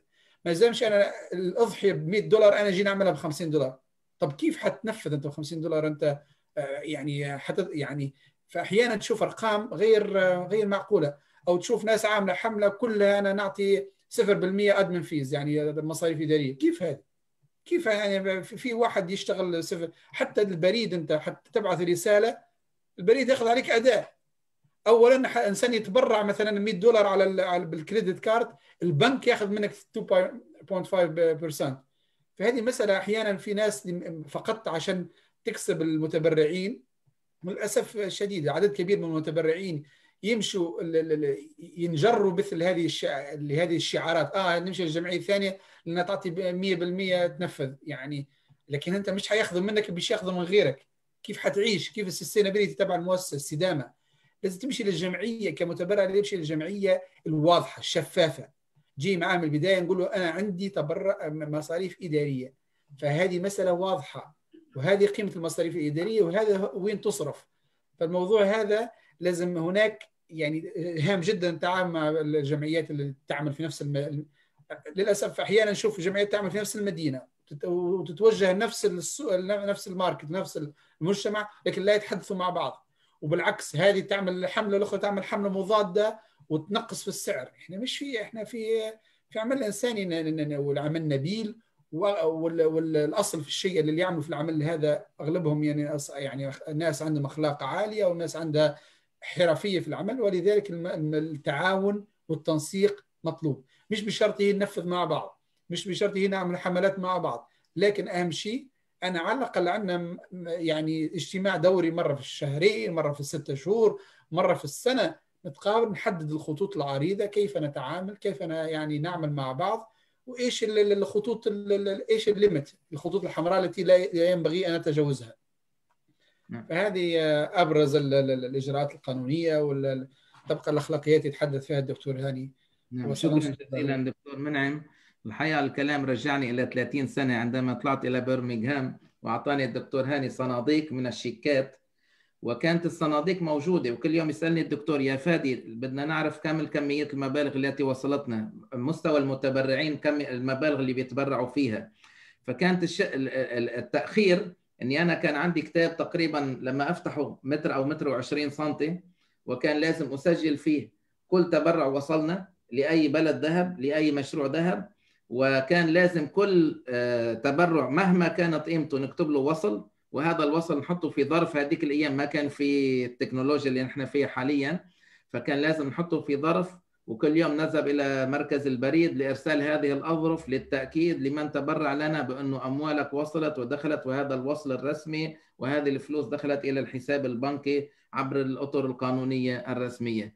آه، دكتور هاني كما يقال آه، مسك الختام صراحة مع حضرتك في المبادئ والمعايير الأخلاقية وأنا عارف أنك أنت تطرقت لها يعني في ورشة سابقة من باب المتبرع نفسه فالميكروفون عند حضرتك. طيب الحمد لله أستاذ سمع رسول الله. سمعني نعم سمعني تمام تمام سمعين طب بس أنا بضيف على التبرع القائمة اللي أنتم عملتوها اللي هي الملابس القديمة. يعني أنا أعشق الملابس القديمة. بالك؟ دي نمرة واحد. نمرة اتنين بضيف اللي هي الدكاكين أو المحلات التجارية الخيرية. وإحنا هنا في بريطانيا أعتقد الإغاثة الإسلامية عندها يمكن آه، خمستاشر أو ستاشر محل تجاري خيري. آه، بضيف إليها حاجة أنتم ممكن يعني ما, ما, ما تستسيغوهاش اللي هي ألم الزبالة من البلو من من البيوت. خدمة. يعني معنى كده إن أنا بقدم خدمة للناس دول عن طريق الشركات البديلة اللي أنا بعملها للمؤسسة الخيرية نفسها. دي بس النقط اللي أنا كنت عايز أضيفها آه، دون أن أدخل في التفاصيل. آه، أبدأ بكلمة واحدة إن العمل الخيري مش ملك حد فينا.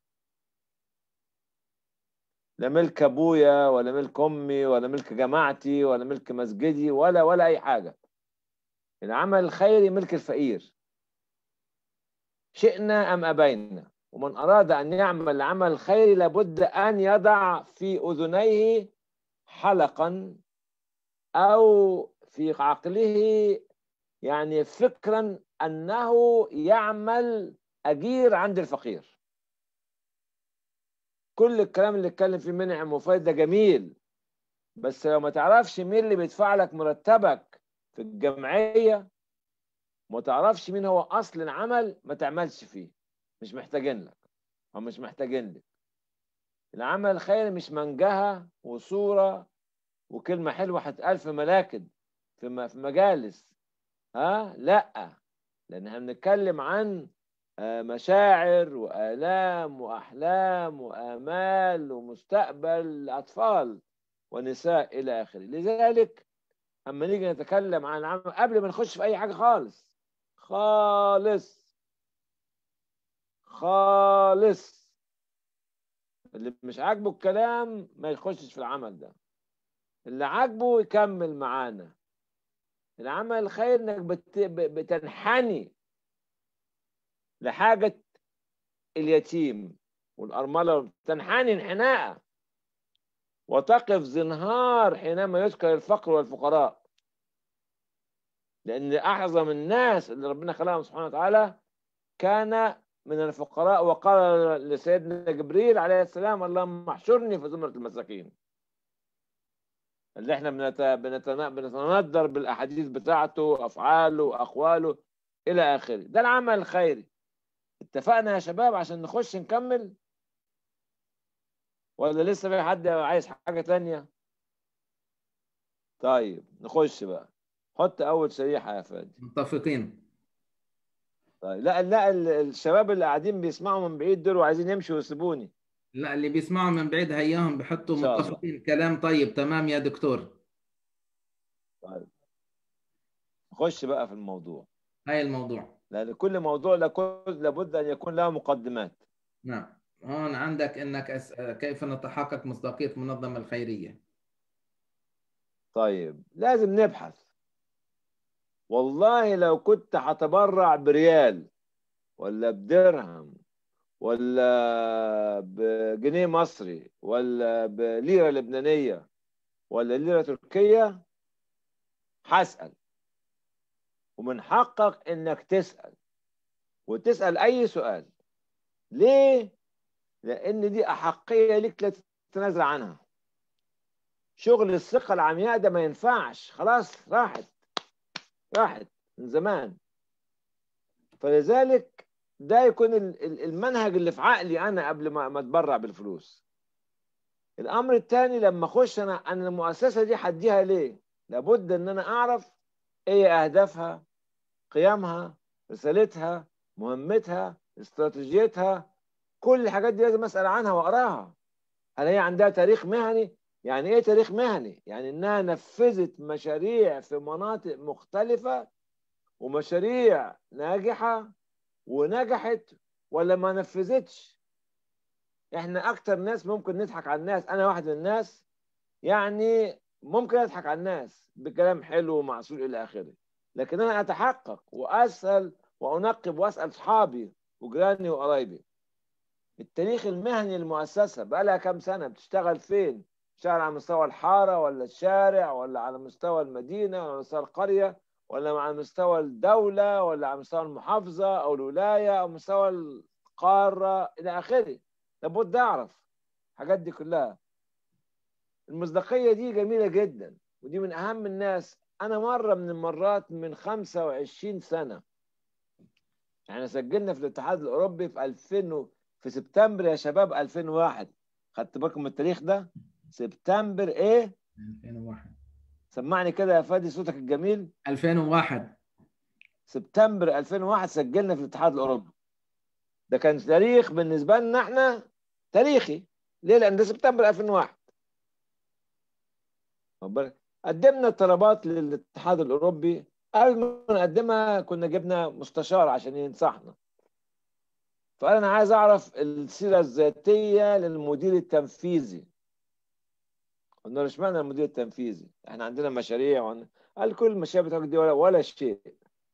إحنا عايزين من هو صاحب القرار في المؤسسة وما هي خبرته وكيف يدير المؤسسه قبل ما يقعد معاك يعمل أي حاجة. قبل ما على مجلس الأمناء على الحاجات دي كلها. فمصداقية الأفراد اللي إحنا بنحطها مش أصل ده قريبي ودي خالتي ودي عمتي ودي بنت أختي لا. كل ده كلام ده إيه؟ في في في المجالس بتاع بالليل دي واللي بنسميها بنسمي مجالس والديوانيات اللي بنتكلم عنها دي. دردشة بقى والمخمخة دي والتنوير ده وكل واحد فينا يقعد ينور بالليل ده ما ما بيمشيش مع الناس دي. مصداقية. والموظفين كذلك. أداء وسلوك الموظفين بيتحسب عليا. حتى مظهر الموظف أو الموظفة اللي بتشتغل معايا محسوب عليا أنا. خد بالكم هيكل المؤسسة. أنتوا عندكم هيكل ولا ما عندكوش أي هيكل؟ حاطين على الصفحه بتاعتكم هيكل. إيه مين هم؟ المجلس الاستشاري مين المجلس الأمناء مين المجلس التنفيذي مين الرئيس مين وصلاحيات كل هيكل.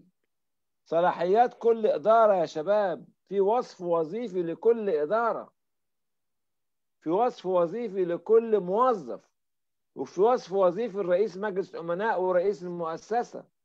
كل الحاجات دي تكون موجودة عندنا في الهيكل. ها أنا بس هجيب دي الناحية دي أيوه كده عشان أعرف أقرأ. لأن أنت اصلك طالع أنت حابس حابس عن الماء والنور يا فادي.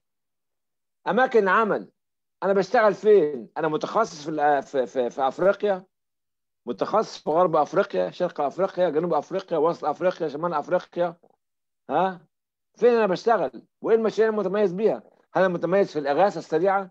هل متميز في الأيتام وكفايه الأيتام؟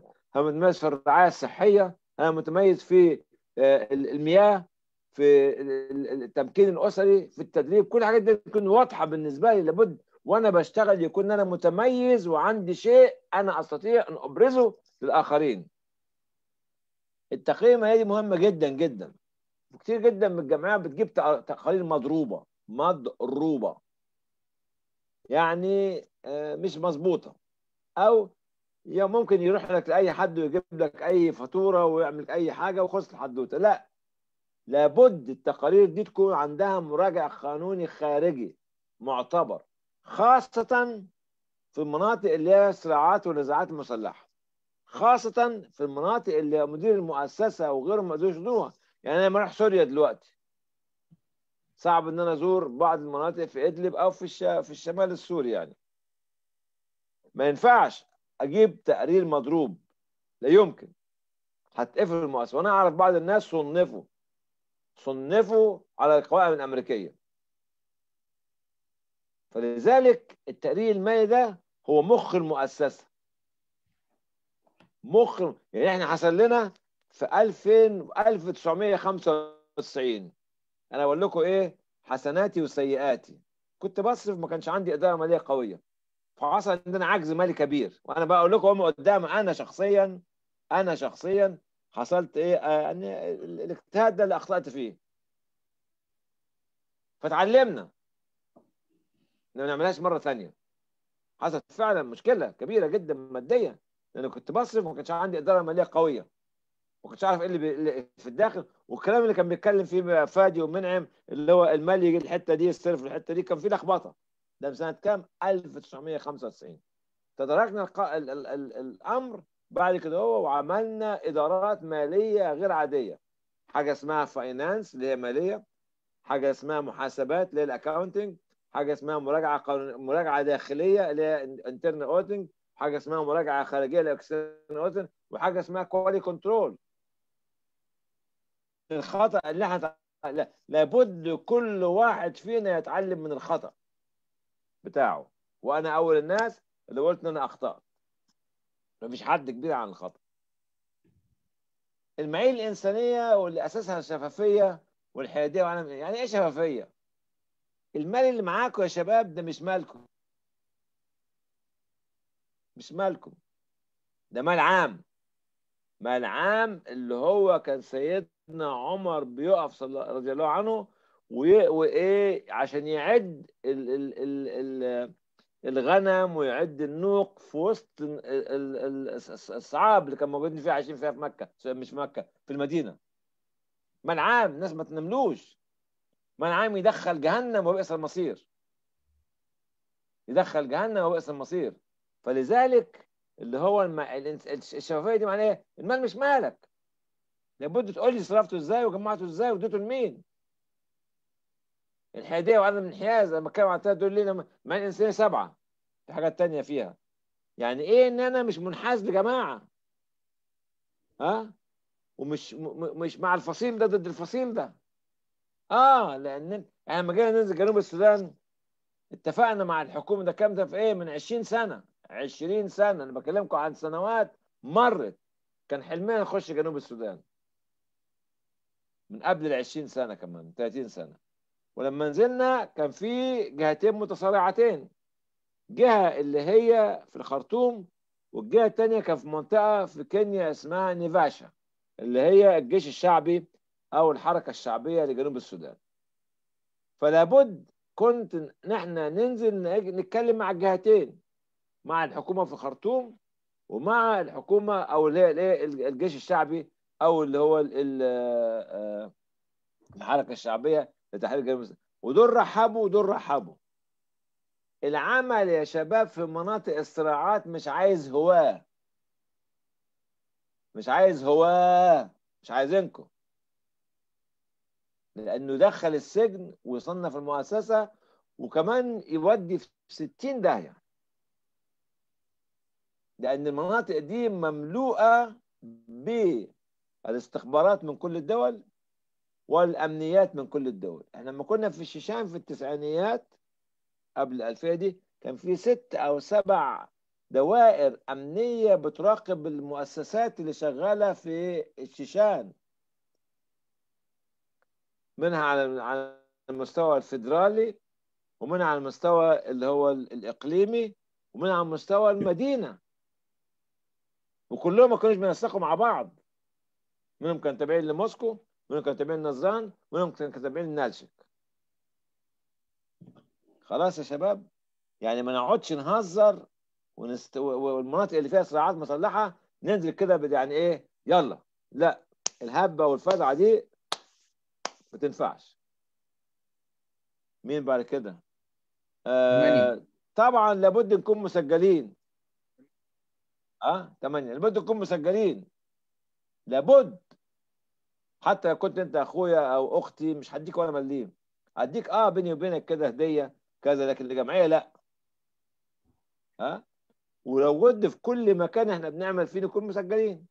ومن شروط العمل في أمريكا حاليا إن كل ولاية لها تسجيل مختلف. يعني عايز تشتغل في ولاية معينة أنت عندك تسجيل فيدرالي لكن في كل ولاية في أمريكا عايز تشتغل فيها بتطلب تسجيل الايه الولاية نفسها. بعد كده يا فادي. مصاريف الإدارية. هي فين دي؟ مصاريف آه. الإدارية رقم تسعة. شوفوا يا شباب آه الكلام ده اصله بيعمل لي ارتكاري أنا كده وبيجيب لي كده حاجات كده. ما فيش عمل في الدنيا بيتعمل من غير مصاريف إدارية. إلا في الآخرة إن شاء الله. لما كلكم كده بسم الله ما شاء الله ربنا يكرمكم رمضان بكرة وتخشوا الجنة كلكم ما فيش هناك مصاريف إدارية. وما فيش جمعيات خيرية. لأن لا في أيتام ولا في أرامل ولا في وجع قلب ما فيش في حاجات ربنا أعدها ها ما لا عين رأت ولا أذن سمعت ولا خطر على بال أحد. ده المكان الوحيد اللي ما فيهوش مصاريف إدارية. أي شيء تاني حد يقول لك 0% قول له سوري أنا آسف. أنت لا تقول الحقيقة. وحتى في بعض الخارجين قاعدين في وسطنا. لو كنت أنت يعني مفرغ من جهة الحكومة. سامعني اللي في الكويت والبحرين والإمارات؟ لو كنت مفرغ من الحكومة بتاعتك راتبك ده يعتبر دخل المؤسسة. لابد أن يطلع فيه المصاريف الإدارية. يعني شغل الشنكراكه ده ما ينفعناش. إحنا عشنا 40 سنة في الشارع.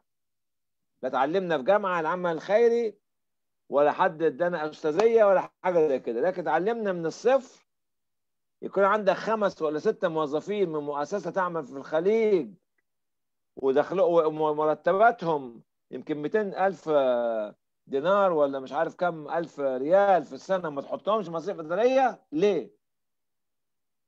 ليه؟ دي منحة من الحكومة تحطها. وده هنا ما فيهوش شفافية. أنا بقول الكلام ده لأهل الخليج كلهم. التزكيات أنت مين يعرفك؟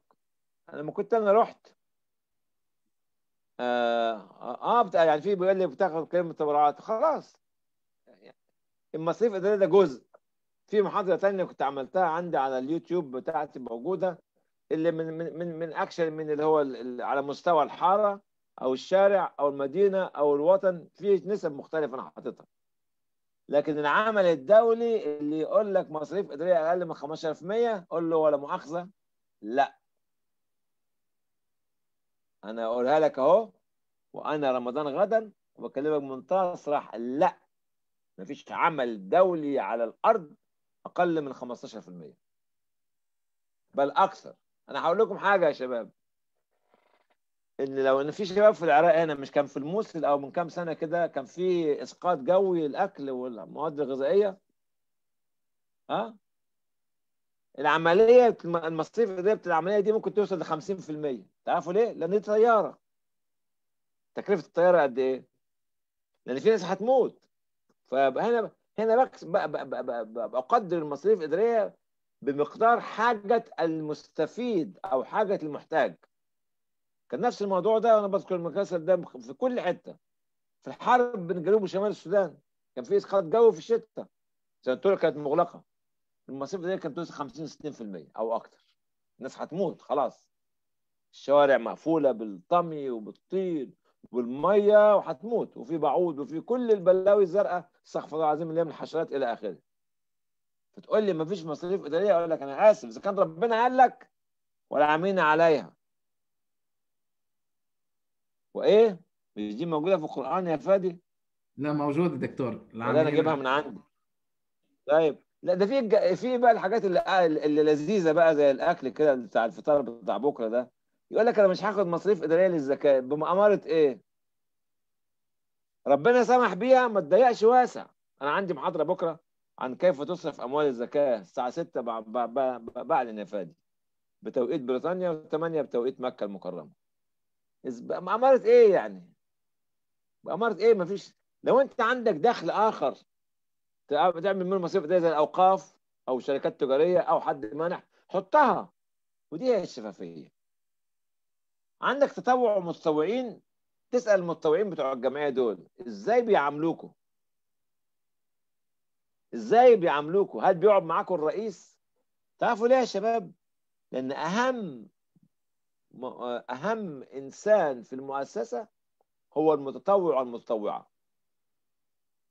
يعني أنا كنت أول ما جيت أشتغل هنا في البلد من 78 تقريبا. كان أهم وإحنا في المستشفى أنا أنا كنت طبيب بشري الحمد لله وربنا أنعم عليا وأصبحت عامل مجتمعي. أهم شخص في المرور وإحنا بنمر على المرضى كل يوم مع مع المستشار ورئيس القسم وكذا تعرفوا مين؟ الطالب. الطالب. يجي المستشار كده أو الأستاذ في الجامعة يقول له يمسك رئيس القسم ويمسك فاهم يقول له ده هو ده مهمتك. أنا بالنسبة لي المتطوع هو أهم شيء في المؤسسة لأن ببني منه كوادر للمستقبل. مين شركاء المؤسسة من الحكومة؟ المؤسسة تقول لك ما عنديش شركاء تشك فيها. المؤسسة أنا ما أنا ما اتكلمتش عن الخليج يا شباب. أنا قلت الناس بت... اللي ما بتبقى ما, بت... ما بتتكلمش عن الكفالات اللي بتديها من الحكومة فقط. لكن ما حدش يتكلم عن حد معين. رد على السؤال ده بعدين يا فادي. آه شركاء المنظمه شركاء المنظمة من هم شركاء المنظمة؟ شركائك مين هم؟ واخد بالك؟ لابد يكون لك شركاء. المؤسسة ما شركاء يبقى في حاجة إيه؟ آه في حاجة زي ما تقول آه غلط مع المؤسسة. اللي بعد كده؟ أدبيات. ها؟ ادبيات المنظمة. آه طبعا إحنا بن بنقول على ادبيات هي نمره كام آه. لازم أنا أقرأ الحاجات اللي موجوده على المؤسسة. لازم أقرأ الحاجات الموجودة على المؤسسة. نعم. لازم عشان أفهم فكر المؤسسة وثقافة المؤسسة وقيم المؤسسة من عمده بعد كده هو رقم 14 الإصدارات السنوية والتقارير السنوية لا لازم كلها من 14 آه دي بقى مهمة جدا بالنسبة لنا إحنا. نعم. بس هي بالنسبة للمنظمات السؤال ده كتير عملناه. يعني تعكس أنا بس استنى أصل الأخ ناصر بيطلع مجموعة من الأسئلة وأنا بقول له الأخ ناصر إحنا عملنا لكل العالم تدريبات سواء كان مش مش هذكر اسم الدول في الخليج بالذات يعني. يعني عشان إيه؟ مش عايزين إن إحنا نتكلم عن دولة دون دولة. سواء كان في دولة ألف أو ب أو ج أو د في الخليج يعني من من من الحاجات اللي إحنا عملناها في آخر في 2016 عملنا ورش عمل لإشراك جمعيات في المنطقة العربية بما فيهم آه، أغلب الدول الخليجية عشان يحضروا مؤتمر اللي هو القمة الإنسانية اللي كان في إسطنبول. وكان من أكثر الأشياء نجاحا المؤتمر ال- ال- الورش العمل اللي إحنا عملناها في البحرين واللي عملناها آه، في السعودية واللي عملناها في الكويت آه، كل هذه الأشياء اتعملت. واخد بالك؟ فلذلك نحن بنتكلم عن مثل هذه الأشياء. إحنا يعني مش الواحد مش عايز يتكلم عن جمعية معينة بعينها. إحنا بنتكلم عن عمومة اللي هو إيه ال- السيكتور أو القطاع نفسه. واخد بالك؟ وطبعا كل العالم شارك. أرجع تاني بس عشان الأخ ناصر كان متحمس كده شوية وأنا أحب المتحمسين. العمل الخيري العربي في التسعينيات وفي حرب البوسنة اللي تميزت فيه كل الجمعيات العربية من السعودية والإمارات والبحرين والكويت وعمان وقطر حط لمسات لقضية البوسنة بالذات لم يستطيع أي عمل دولي آخر يعملها. عشان نتكلم لأن إحنا ما بنزل ما بنزلتش ده بال- بال- بالإضافة إلى باكستان بالإضافة إلى تركيا بالإضافة إلى أوروبا بالإضافة إلى مصر. مصر كان عندها تمثيل قوي جدا جدا جدا جدا جدا في ال- ال- المنطقة دي ببعض الايه ال- ال- آه، الجمعيات اللي فيها. آه، حتى من ليبيا حتى من إيران كلهم. فلما نرجع إحنا مش مش مش بنتكلم عن جهة دول جهة إحنا بنتكلم عن إن أنا لما آخد منحة من دولتي دولتي ادتني منحة أحط المنحة دي كجزء من المصاريف الإدارية. ده بالنسبة بس عشان إيه؟ قد يكون حصل استشكال في الفهم يا اخ فادي لحتة اللي هو اللي ما بيقولوش ليه. لا أنا حاولت أكتب له للأخ طيب، على تشات آه، هل ليس مقصود ما فيش مشكلة مفيش كتبت. لا إحنا بنحب كل كتبت- الناس ما فيش مشكلة. نعم ليس مقصود أي منظمة هو مقصود أنه فقط أنه كل مؤسسة تقول لديها مصاريف إدارية. فقط هذا كان الموضوع. نعم. طيب نرجع بقى بقى. أنتوا في المبادرات في مبادرات كبيرة جدا زي حما... زي مثلا أديكم أسهل مبادرة التغير المناخي. مؤمنين إحنا بيه؟ اللي هو دلوقتي بيخلي ال... ال... ال... الأجواء تتغير يعني أنا دلوقتي أنا قاعد في شهر إبريل لابس شيرز ولابس جاكيت وده في شهر إبريل وشوف فادي لابس إيه قدامكم الكلام ده ما كانش موجود قبل كده فلما ننظر لمثل الأشياء هل إحنا لينا مساهمات في. في المبادرات على مستوى الوطن أو الإقليم أو العالم ولا إحنا بس متقوقعين عن أنفسنا؟ هل إحنا بنقف مع القضايا الإنسانية العادلة زي مثلا اليوغور زي القضايا بتاعت روهينجا زي القضايا بتاعت كشمير زي القضايا بتاعت آه، وسط أفريقيا اللي حاصلة وفي هناك حاجة اسمها انتي بالكا تعمل تطهير عرقي للمسلمين زي ما يحدث في الكونغو الديمقراطية وغيرها. إيه موقفنا؟ إيه موقفنا إحنا بنتكلم عنه؟ هل إحنا بنتنافس مع بعضنا أم بنتكامل مع بعضنا؟ الروح التنافسية روح غير إنسانية وروح غير خيرية. لأن يعني أنا أعرف بعض الجمعيات حبت تعمل احتفال معين فتجيب فنان معين. فقالت هندفع للشركه ألف. فجمعية قالت لا لا أنا هديكم ثلاثة ألف. أربعة ألف كمان بس هاتوا لنا إحنا. إيه ده؟ الفلوس دي مش فلوسك. الفلوس مش فلوسك عشان تهدر فيها كده. الفنان ده ممكن يكون يتكلف خمسين ألف. أنا أديله مئة ألف ومئتين ألف ليه؟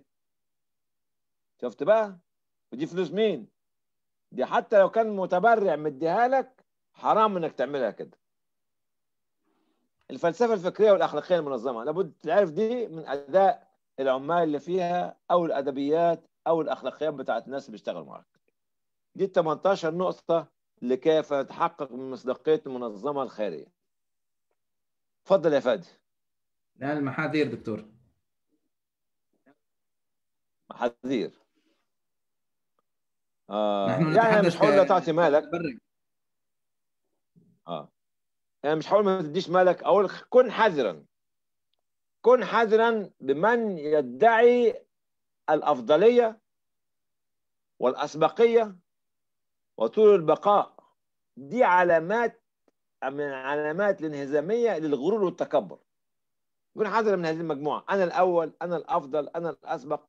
ده ما ينفعش. إحنا مش شركة تجارية ولا مصنع. إحنا ما بنبيعش جزم ما بنبيعش شرابات ما بنبيعش مناديل. إحنا بنتكلم عن نفوس البشر. أنت بتتكلم أنا وأنت بنتكلم عن من؟ عن من يعطيني المرتب؟ اللي هو الفقير اللي مش لاقي. يعني لو أنا لو أنا كنت مدير مؤسسة دلوقتي باخد مرتب وعايش مرتاح وأنا في أي مكان. كنت في مصر كنت في سوريا كنت في آه آه في مصر في بريطانيا في الكويت في البحرين في في كندا في أمريكا في أي مكان. صاحب المال تعرفوا عايشين فين؟ عايش في خيمة. أو عايش في الشارع.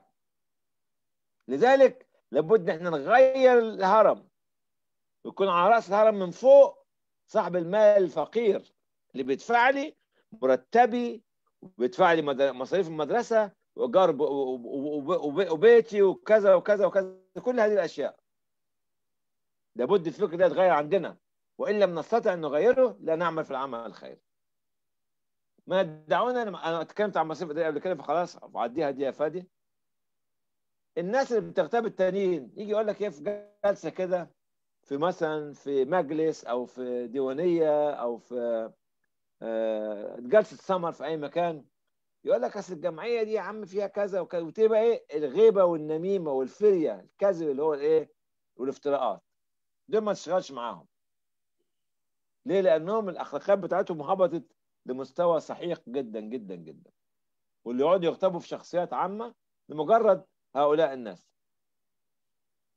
آه... نمرة ثلاثة المغتابين من نمرة أربعة آه الناس الجمعيات الجديدة زي زي زي ما فادي اتكلم عنها اللي ما عندهاش تقارير مالية. أنا مش بقول إنهم وحشين. أنا بقول إن دلوقتي أصبحت مع وجود اللي هو مع وجود القوانين التي تحكم تحويل الأموال والتطرف والإرهاب والكذا أنا بقول إيه يعني صعب إن إحنا ندي المؤسسات دي آه وإن كانوا حتى وإن كانوا مخلصين. آه اتفضل. بعد كده؟ خمسة. آه دلوقتي في ثقافة يا شباب إن إحنا جمعية تيجي تقول لك أنا عملت 200 مشروع. أنا كنت مرة جالس في جلسة كده وأحد الجمعيات قالت إحنا السنة دي عملنا 855 مشروع. أنا ما قدرتش أتكلم ممكن نكون ألجمت نفسي عشان ما أردش أو إن أنا صعقت بالرقم. ما رضيتش أتكلم. يعني إيه مشروع؟ يعني إيه مشروع؟ يعني إيه برنامج؟ إحنا عارفين يعني إيه برنامج؟ عارفين يعني إيه مشروع؟ عشان أقول أنا عملت 855 مشروع. طب يا اخوانا عملنا 1000 مشروع. بسم الله ما شاء الله. هل إحنا قسنا الأثر بتاع هذا العمل على المجتمع اللي إحنا عملنا فيه؟ هل لو كان المشروع في المية إيه أثر المشاريع المائية اللي إحنا عملناها دي على المجتمع؟ أو في الزراعة أو في التدريب أو في التأهيل أو في التعليم إلى آخره إلى آخره؟ هل إحنا قسنا الأثر؟ ولا مجرد إن إحنا إيه بنروح ناخد الصورة وناخد اللقطة ها؟ ناخد الصورة واللقطة. ونمشي وخلاص. لا مشاريع ما تنافسش كده. أصرف وبعدها بست اشهر للسنه أشوف الأثر. وللأسف يعني الفكر ده مش موجود عند كتير جدا من المؤسسات اللي عندنا إحنا في العالم العربي أو اللي عندنا إحنا في المؤسسات الإسلامية وللأسف يعني. اللي هو قياس الأثر. آه آه اللي اللي داخل المؤسسة واخد بالك؟ علشان حزبه أو عشان فصيله. أو عشان جماعته ده ما ينفعنيش. أنت في المؤسسة جزء من كل. جزء من كل. من يمثلوا خصائص مسير مجتمعي داخل جمعياتهم. الجمعيات بقى اللي هي منعزلة عن المجتمع تماما. تمثل فكر معين تمثل نسيج معين تمثل جماعة معينة. ده لا صعب. ليه؟ لأن أنا عندي مجتمع دلوقتي مع الثورة المعلوماتية ومع اللي هو أعوذ بالله الشيطان الرجيم إيه يا ربي؟ ومع اللي هو ال social media الثقافات اتغيرت الآراء الاراء الآراء الفقهية اتغيرت كل هذه الأشياء أصبحت متغيرة. فأصبح المجتمعات بتاعتنا تغيرت 180 درجة عما كانت عليه من قبل. وما ينفعش إن أنا تقول المؤسسه دي الفكر معين أو لجماعة معينة أو المنهجيه معينة. أو تكون بتلزم الناس يعني أديكم مثلا من الأمثلة اللي إحنا عاهدناها وعشناها في البوسنة. كنا لما نيجي نوزع الأموال فبعض الجامعات كانت تيجي يقول لك إيه مش هندي المعونات دي للنساء المش محجبات. طب النساء دي خارجة من 60 70 سنة في عصر الشيوعية. ما كانوش يعرفوا بسم الله الرحمن الرحيم معناها إيه. واقفين في طابور وجعانين وده مالهم وده مالهم. أمنعوا عنهم ليه؟ كانوا النساء يعملوا إيه؟ يلبسوا شرب ويقفوا في الطابور ياخدوا المعونة ويمشوا ويرجعوا الاشرب مروحين خلاص عقلية. أو يقول لك أنتوا دلوقتي في شهر رمضان مش حد واحد لغير صايم. شفناها دي بعينينا. شفناها بعينينا. شفناها بعينينا. فالراجل يقف في الطابور وهو مش صايم. ما يعرفش دينه. ما يعرفش دينه. ياخد الأكل ويرجع يخرج يدخن السيجارة ويمشي. كلمت أنا فيها دي عن التقارير المالية والتقارير والتقارير الإدارية إلى اخره أو ما فيش محاسبين خارجيين. اتكلمنا عنها قبل كده يا فادي. آه دي مهمة جدا يا شباب بتاعت اللي هي من يدعون دي. لا في واحدة اسمها لا في واحدة اللي قبل كده. لا هي اللي قبلها التقارير بعدين هون عمل الفرد أو عمل المؤسسة. طب قولي كده نمرة سبعة قبل كده ولا ستة؟ سبعة هي أنا في حاجة كده كانت موجودة. آه لا خلاص خلاص توكل على الله. أنت صح أنت صح أنا غلط. آه يعني في يعني زعيم إلى الأبد رئيس إلى الأبد مفيش تأبيد في العمل الخيري. مفيش تأبيد. لو كان في تتابع أجيال تورث الأجيال وقيادات تصنع قيادات مفيش تأبيد. أخاف أنا أشتغل مع جماعة زي كده. أخاف خالص إن أنا أشتغل. لأن بيكون الإيه؟ القرار لشخص واحد فقط ودي آفة موجودة عندنا. موجودة ما زالت موجودة في كثير من الأماكن. آه ما يكونش عندها حكامة رشيدة أو تكون ضعيفة. اتكلمنا عن دي قبل كده. هو برضك في في في المجموعة الأولانية يكون اهتمامها بالإعلام. أنا أعرف مؤسسات هنا في بريطانيا. يعني عدد الموظفين في قسم الإعلام وجمع التبرعات قد يكون بالعشرات لما زرتهم. وسألت عن مين ماسك المشاريع طلع أربعة خمسة. اللي أهم أهم أهم أهم قطاع ولا أهم إدارة في المؤسسة إدارة المشاريع. قلت لكم قلت لهم عندكم حد في الهيومن ريسورس اللي هو التنمية البشرية فواحدة من اللي جالسين كده قلت لهم أنا. أنت فين إدارتك؟ قالت لا هنعمل إدارة. كان ساعتها عندهم دخلهم حوالي 15 أو 17 مليون جنيه. المحاسبين ما فيش إلا اثنين ثلاثة بيحاسبوا. فهو اهتموا بين 60 ل 70% منهم موظفينهم للإعلام والجمع التبرعات. وده خطير جدا جدا جدا. ده هيجيب لك أسهل حاجة يا شباب إن إحنا نجمع المال. أصعب من جمع المال كيف وأين يصرف المال. وأصعب وأصعب وأصعب وأصعب إن كتير جدا من الجمعيات عندنا ما بتعملوش اللي هي قياس الأثر. كيف أثر هذا الإنفاق أو هذه المشاريع على المجتمعات اللي إحنا بنشتغل فيها. أتمنى إن تكون جمعياتنا قادرة على قياس الأثر. آه... 14 دايما آه زي ما أقول لك برضك ال... الجمعية تقول لك أنا مش هشتغل مع حد دي اخاف منها. وكأن أنا عندي عورات مش عايز حد يطلع عليها. آه، ادعاء انها بتشتغل في عشرات يعني أنا كنت مثلا يعني شيء جميل جدا. برضك حاضره في مصر في بريطانيا. جمعية ما كملتش مليون. تشتغل في أنت بتضحك ليه يا فادي؟ الضحكه الصفراء بتاعتك دي مش عايزينها. في في جمعية ما كملوش 40000 جنيه بقول لك نشتغل ب 33 دولة. طب اديك على... أنا ما أعرفش اسمها إيه بس خلاص ليك قلت الكلمة. شكرا. إنك انت أه؟ لا لا لا إنك رفعت الحرج عني إن أنا أقول الكلمتين دول الحلوين دول. إزاي؟ كل ده ده 3000 دولار؟ المهم يعني أو أو أو أو, أو 200 دولار أو حاجة زي كده. فطبعا دي تخاف منها. يعني دي هتلاقي على الصفحة بتاعتها اللي هو صور كتيرة جدا للمشاريع. أنا هديكم مثلا نسيت مثلا أذكره. لما جينا نسجل المو... ال- ال- الإغاثة الإسلامية في أم... في كندا لما كنت أنا هناك في سنة 2004 كان معايا ملفين. ملف المشاريع وملف آخر. فلما جيت مع قعدت مع المحامي عشان أقابل الدولة مسؤولين الدولة في مش تورونتو اللي هي العاصمة اسمها إيه يا أوتاوا. يا أوتاوا.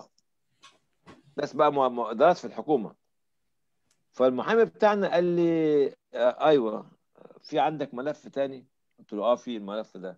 بص فيه لقى فيه الصور اللي إحنا فيها مع مسؤولين زي الملكة زي الأمير زي رئيس وزارة زي رئيس جمهورية إلى آخره. قال لي أنا عايز الملف ده. أما بتاع المشاريع ده في أي جمعية ممكن تعمله. الكلام ده سنة كام؟ الكلام ده حوالي من 18 سنة. قال لك إحنا ما بنهتمش إيه؟ كل واحد ممكن يعمل لك صورتين ويجي يعملها لنا هنا. لكن تقعد تسلم على مثلا أمير يدعيك عنده في مكانه أو شيخ يدعيك أو رئيس يدعيك ده معناه إن الدوائر اللي قبل دعوتك لهذه. لهذا اللقاء تكون عارفة أنت مين تقعد مع إيه مع هذه الشخصيات اللي هي في في الأماكن دي كلها آه النقطة 13 مهمة جدا مش عيب إن أنا أقول للناس مش هقدر أخدكم يكون عندي في مجلس امناء لأن أنتوا ليكوا توجه سياسي ليكوا توجه آخر آه، ليكوا تاريخ معين ده هيضر بالمؤسسة. مش عيب.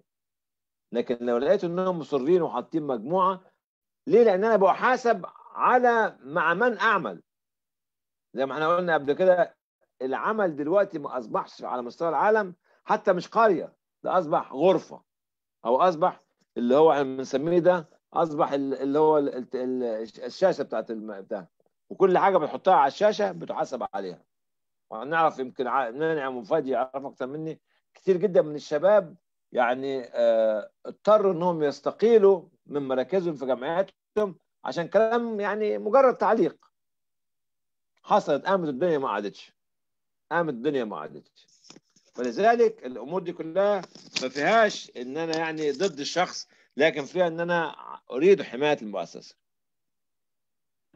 إن يكون أحد الأمناء أو الموظفين مستفيد بمعنى إيه؟ يكون رجل أعمال موجود وعنده شركة مش باسمه باسم خالته أو عمته أو أخته أو قريبه والشركة دي بتقدم على على ال- العقد بتاع الشركة بتاع المؤسسة وتكسبه.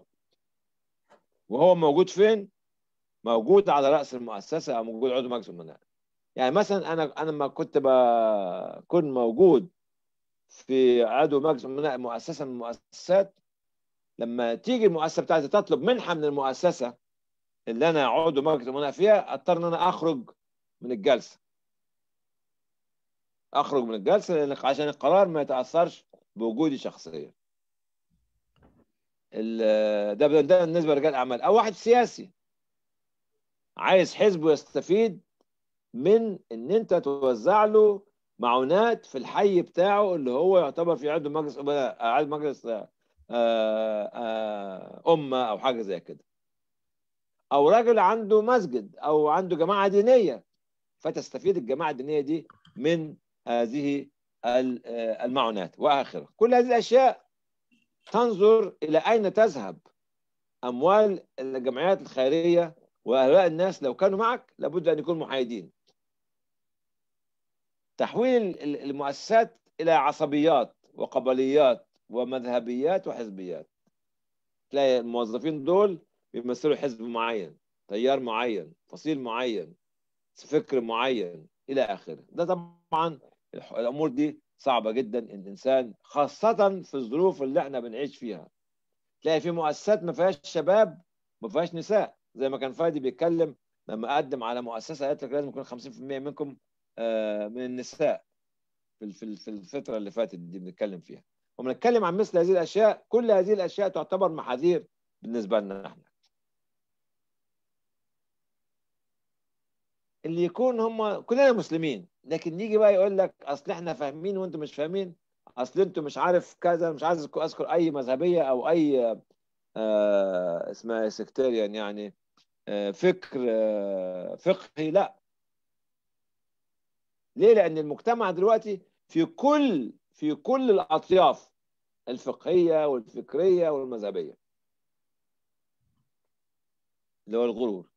آه زي ما إحنا اتكلم قبل كده إن مفيش تحليل وإبدال للرئيس أو مجلس الاداره أو الموظفين الكبار.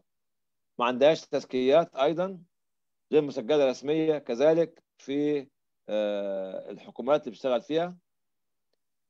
آه, آه دي رسالة نهائيه يمكن كان كلمت عنها في الأول. العمل الخيري يا شباب ليس مهنة من لا مهنة له. وليس انفعالات ارتجالية عشوائية عاطفية يقوم بها من لا خبرة لهم بمسارات العمل الخيري ومنظومات العمل الخيري وأطر وتوجيه العمل الخيري. العمل الخيري أصبح صناعة. أقوى قوة ناعمة على وجه الأرض هو العمل الإنساني. اللي بتستفيد منه كل الدول الأوروبية. كل الدول الأوروبية. لذلك في إدارات زي ما كان فادي حضرتها في الأول بتاع التنمية زي سيدا و... وجي آي زد و... وديفيد لما كانت قبل كده وكل الحاجات دي كلها ليه؟ لأنهم حاسين إن في دولة عايزين يساعدوها فبيدوا المعونات دي كلها عن طريق مؤسساتهم بتاعتهم ليه؟ لأن العمل الإنساني يصل حيث لا يصل إليه الآخرين فده كيف يؤمنوا بأن العمل الانساني ده أقوى قوة ناعمة. هات خلصت كل اللي قبل كده؟ آه... آه... نعم طيب. حكيت عنها تقريبا شراكة مع أصحاب المال. طيب. طيب. طيب خلاص. العمل الخيري وسيلة وغاية. خلاص ما خلاص مش مشكلة. خلاص. طبعا من حق المتبرع بس بقول للأخ اللي شاغل ده من حق المتبرع يعرف المصاريف الإدارية بالتفصيل. حط كده مد ست حركات. العمل الخيري وسيلة وغاية في نفس الوقت. فوسيلة لرفع المعاناة عن المحتاجين والأيتام والارام والمشردين المغتصبين وهو غاية لاثنين الأولى لأرضاء الله سبحانه وتعالى والثانيه لبناء المجتمعات والتمكين المجتمعي. لأن في النهاية أنا مش هخلق جيل سوري أو يمني أو عراقي أو مصري أو أو فلسطيني مستجدي. لازم أنا أمكنهم والشباب دول يكونوا هم اللي ينشئوا بعد كده الحضارة والنهضة في بلادهم. اتفضل يا فندم. الله يزيد فضلك. شكرا جزيلا دكتور. يعطيك العافية وشكرا جزيلا على الكلام اللي تفضلت فيه صراحة والحقيقة يعني إذا تسمح لي بكلمة واحدة وهو أنه الكلام اللي تفضل فيه الدكتور هاني إذا كان هو ناقد فهو من باب حرص على العمل الإنساني. وإذا كان هو يعني يعطي رأيه فهو من باب حرص على العمل الإنساني. طبعا هو لن نتطرق لأي مسألة لأي يعني شخصية معينة أو دولة معينة أو أفراد معينة أو مؤسسات معينة. إنما هذا الكلام صراحة قالوا في بريطانيا وفي مجالس أنا كنت موجود فيها وقالوا حتى على الإعلام بما يختص يعني خاصة بالذات مسألة النسب المئوية. فهذه بس حبيت إني أوضحها حتى هذا كان بناء, بناء لكلام الدكتور. الحقيقة أريد أشكر الدكتور هاني شكرا جزيلا على وجوده معنا. أنا عارف أنه صراحة يعني الأجندة تبعته دائما مزحومة ويعني الكلام اللي أنا سمعته منه سابقا وحبيت أني أتشارك معه لأنه هذا الكلام هو يتكلم صراحة مع المتبرع. فسيدي المتبرع أو سيدي سيدتي المحسنة إذا كنت ستتبرع لهذه المنظمة الخيرية فخذي هذه 37 نقطة من الدكتور هاني البنا وطبقيها. فإذا كان المتبرع سيمسك هذه 37 نقطة ويتعامل فيها مع المؤسسات فالأولى فينا نحن المؤسسات الخيرية أن نطبق هذه 37 نقطة بحذافيرها وعندها سنحصل على التبرع المحلي وسنحصل على التبرع الدولي وسنحصل على الصيت والسمعة وسنحصل كمؤسسة وليس كأفراد يعني. وسنستطيع أن نساعد من تحدث عنهم الدكتور هاني أرباب أعمالنا اليتيم الأرملة الفقير المحتاج أي إنسان. في بعض الأشياء كانت انكتبت على الشات أنه أنتم تتحدثوا عن اليتيم. نحن تحدثنا سيدي الكريم وسيدتي الكريمة عن الموارد المالية في العمل الإنساني عموما صراحة وليس فقط اليتيم. إنما اليتيم خاصية أنه قد يكون يتيم عمره يوم فبالتالي يحتاج دعم إلى يمكن قد يكون سنتين وبعده والدته تتمكن من نفسه وقد لا تتمكن ويحتاج يمكن حتى عشر سنوات من الدعم والمساهمة والمساعدة. فلهذا السبب اليتيم والأرملة دائما عندهم خاصية يعني الحقيقة. شكرا جزيلا ل يعني الدكتور هاني مرة ثانية شكرا للدكتور منعم مرة ثانية شكرا للحضور جميعا. ونحن صراحة تقريبا في الوقت النهائي. ممكن فقط عشر دقائق إذا أحد يريد أن يسأل أي سؤال للضيوف الكرام. فتفضلوا.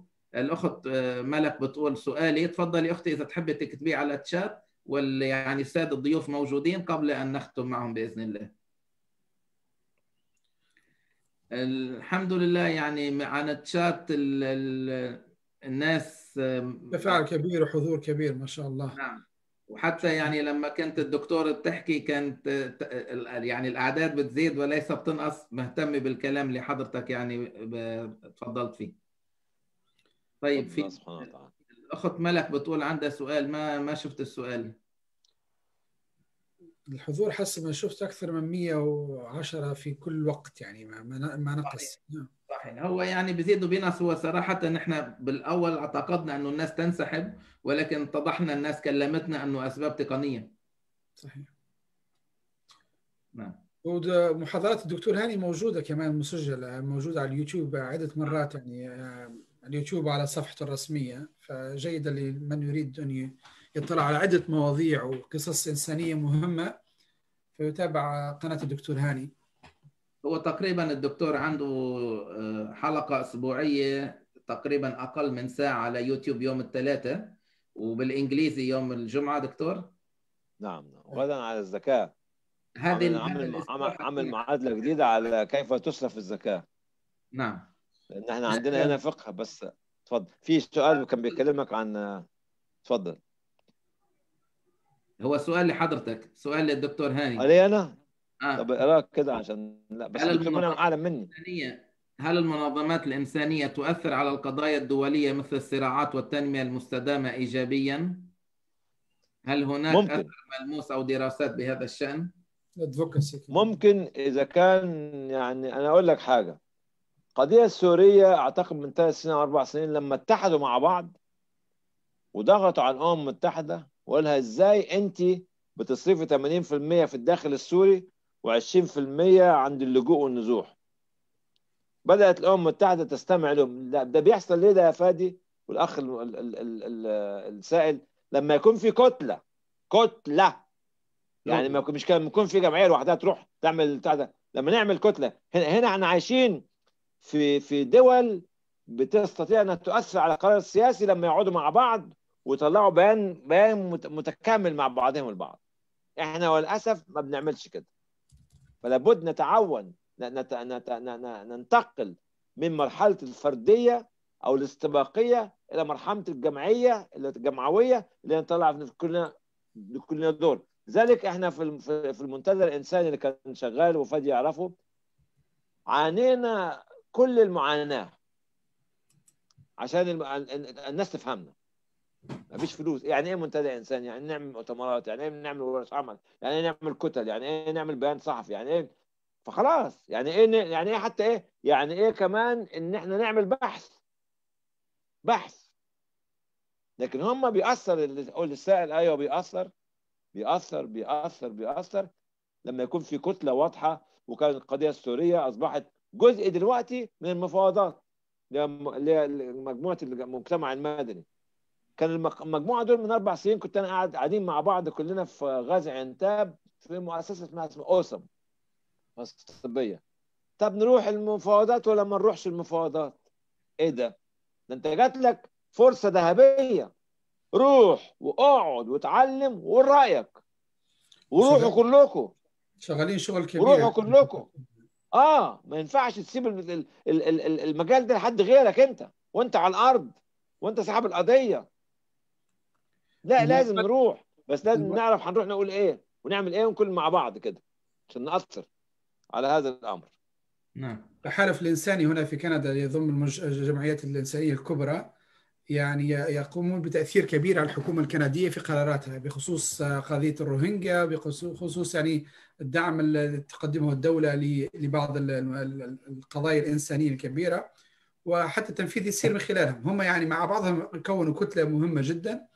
وأثروا في في صناع القرار وكذلك استفادوا كذلك من من الدعم الدولة من خلال يعني تنفيذ مشاريع موضوع ال matching funds يعني اللي صارت في قضية أزمة انفجار بيروت وقضية الروهينجيا وغيرها من القضايا الأخرى. نعم. هذه موضوع التشبيك والتنسيق. في سؤال يعني هل كان في معوقات واجهتموها في التمويل لمشاريع فلسطين؟ طبعا فلسطين مشكلتها مشكلة أمنية استخباراتية في إيصال الأموال عشان بس نتكلم بالصراحة.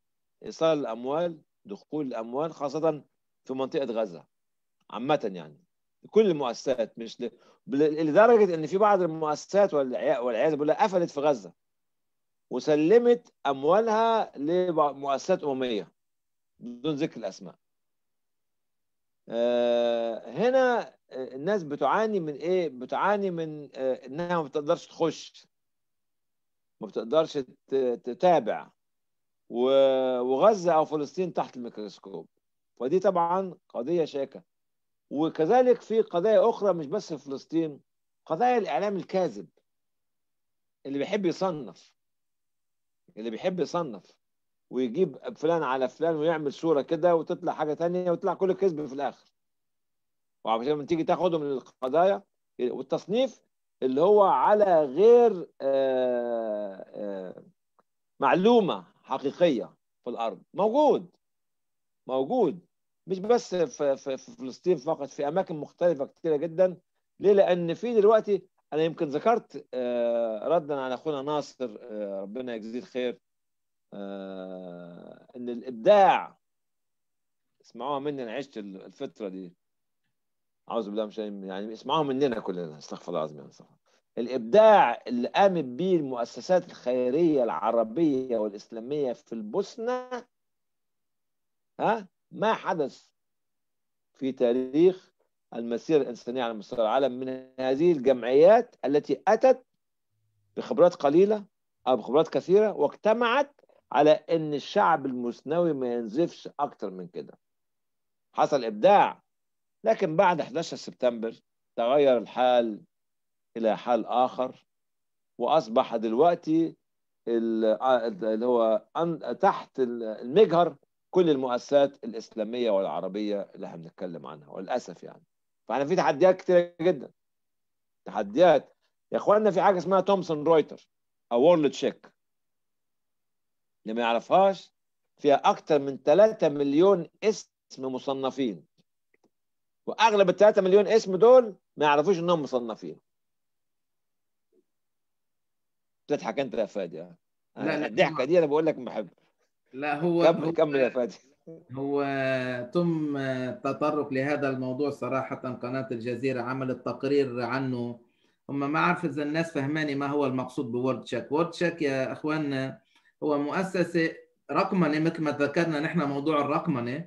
روبوت يبحث عن أي إنسان مثلا الآن منعم لنفترض أنه منعم الآن ملك ولا رئيس في دولة وأنا شتمته فأنا حيجي اسمي مباشرة على اللائحة السوداء لأني أنا شتمت الدكتور منعم فبالتالي أنا كأعمل في مؤسسة خيرية إذا كنت أريد أن أقدم لشراكة حيروحوا يكشفوا على اسمي عند World-Check فإذا اسمي أنا داخل اللائحة السوداء المؤسسة كلها خسرت المشروع قاطبه هذه هي ما يتحدث عنه الدكتور هاني يعني. ف... وكمان غير كده أغلب أغلب معلومات ال World-Check يا فادي هي معلومات من الجرائد. أيوه ما من الصحافة معلومات قيل وقال يعني أنا هقول لك حاجة أنا في بلد من بلدان اتسجنت ليلة. عشان حاجة اسمها بالإنجليزي open ended sources يعني المجال المفتوح. فالراجل الضابط في المطار قال لي لا اتفضل بص مكتوب عندك إيه؟ قلت له مش أنا. قال لي خلاص. قلت له والله ما أنا. قال لي خلاص. بيت عندهم في السجن ليلة الحمد لله. ربنا أكرمني كده وإيه بس إيه آه وتاني يوم خرجت. المحامي خرجني ودخلت البلد.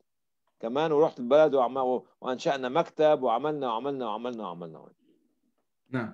طيب في سؤال صراحة إنه مستقبل هل هناك مستقبل لنموذج المؤسسات الإنسانية الوسيطة التي تجمع التبرعات خارج دولة المقر وتنفذ المشاريع في خارج دولة المقر؟ يعني هذا نموذج هو صراحة نموذج اوروبا هو السؤال إنه المؤسسات الخيرية التي تجمع التبرعات ولكن مشاريعها خارج بلدها. يعني مثل كندا مثل بريطانيا يعني. مثل دول الخليج يعني كله أصلا هذا مشاريع خارج بلده أغلبها فهو السؤال هل هناك مستقبل؟ آه الخطورة في إيه بقى؟ إن بس أنا مش عايز أزعل إخواننا الخارجيين إخواننا بس ناصر ما يزعلش مني إن المؤسسات الدول الغنية ما لهاش إلا مركز واحد تجمع منه تبرعات لكن مثلا ما ندي المثل في مؤسسات في أوروبا وأمريكا عندهم 20 30 مركز لجمع تبرعات من 20 30 دولة.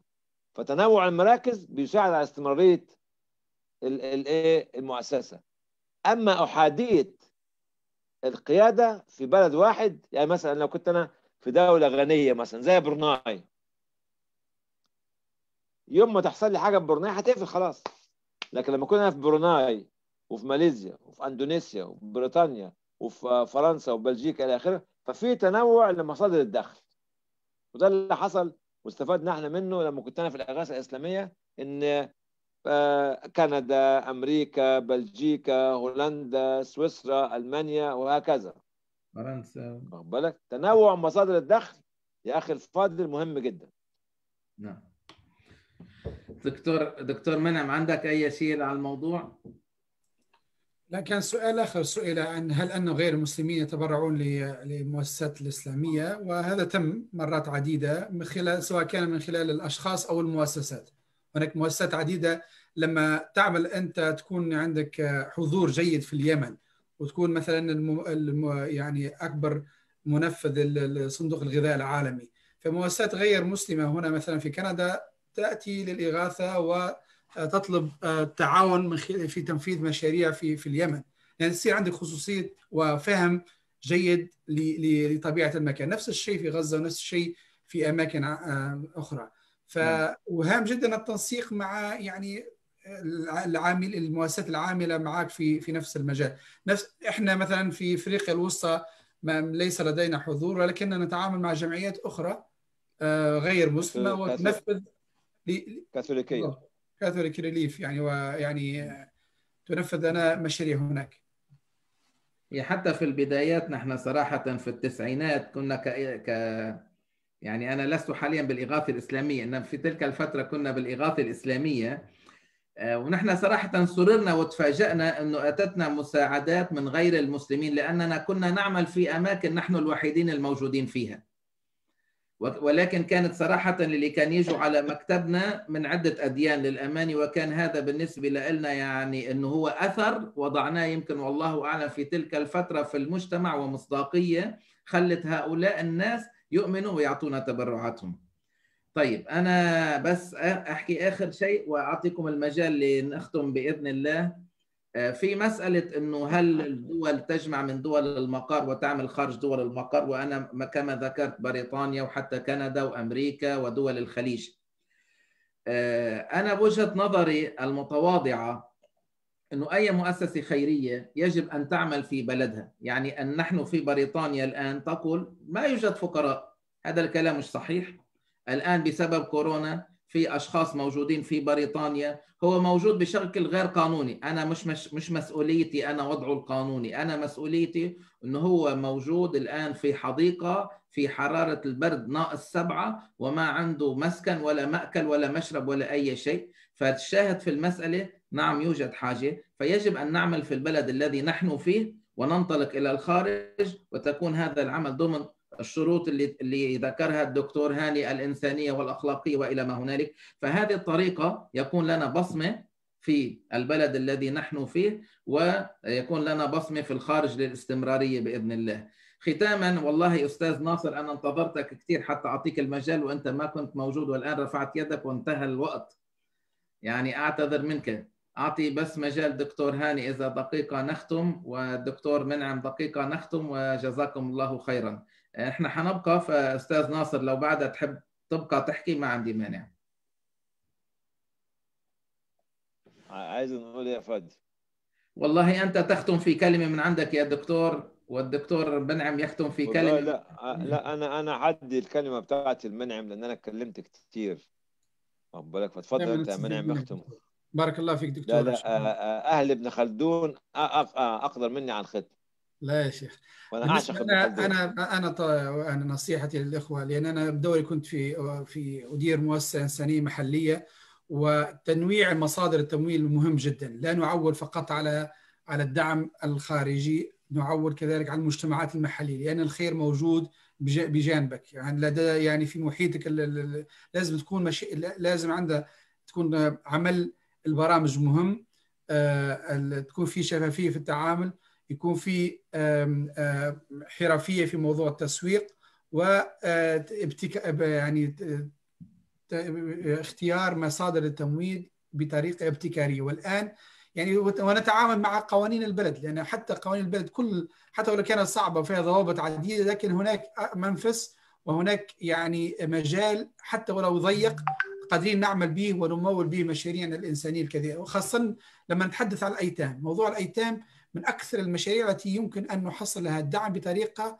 يعني أسهل من بقية المشاريع الأخرى. ولذلك يا إخوتي الكرام ضروري جدا الاجتهاد وتنظيم آه، يعني آه، وضع برامج استراتيجية واضحة وبوليسيز آه، سياسات لتنظيم عملنا والتركيز على دعم قدرات موظفينا و لا نحمل هذا القطاع ما لا طاقة له- به. يعني كل خطأ يقوم به فرد أو مؤسسة تعمل في هذا القطاع تؤثر على كل القطاع الإنساني وهذا شفناه في أماكن عديدة. آه، جزاكم الله خير دكتور هاني لو بدك تقول شيء أو أخينا آه، فادي. أنا بس أنا نسيت أقول الورده دي بتاعت مين. سير بنات. لابد تقول عن- عنها يا أخ. اتكلم يا فادي. أنا لابسها آه. النهارده لشيء في نفس يعقوب. حاضر. هي يلا يعقوب. يلا يعقوب. هذه الوردة هي من صنع أمهات الشهداء في البوسنة اللي استشهدوا في مجزرة سربرينيتسا في 2000 1995 واللون اللون الأخضر هو لون ال- التابوت. واللون الأبيض هو لون ال- السيدات التي تنوح على أبنائهم اللي استشهدوا في هذه المجزرة. فهي وفي, رواية وفي رواية أخرى السلام والحب. نعم. وفي رواية أخرى عن عن عن مش عارف ابن مسعود ابن علي ابن محمود ابن حسنين السلام والحب. نعم إن شاء الله. آه. طيب آه، معنا طيب آه، عبادة بس بعد إذنك إذا تفتح المجال لأبو عمر وتفتح المجال للأخ ناصر. آه، ونحن الآن آه، رسميا انتهت ورشتنا. من أحب أن يبقى فليبقى ومن أحب أن ينسحب يعني براحته. آه، عبادة بس افتح الآن الكاميرات للجميع. هو من يحب أن يفتح يعني براحته كمان أستاذ ناصر معك دقيقتين تفضل جزاك الله خير السلام عليكم ورحمة الله وبركاته يا أهلا وسهلا حياكم الله أنا سعيد اني افتخر يعني أني أشوف هذه القامات جميعها وأفتخر كعربي كمسلم بوجودكم وبوجود الاخ هاني اللي تعلمنا منه الكثير.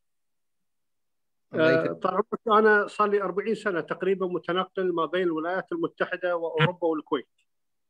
آه، أنا بالأصل ضابط شرطة آه، درست في الولايات المتحدة في 81 فصار لي حوالي 40 سنة.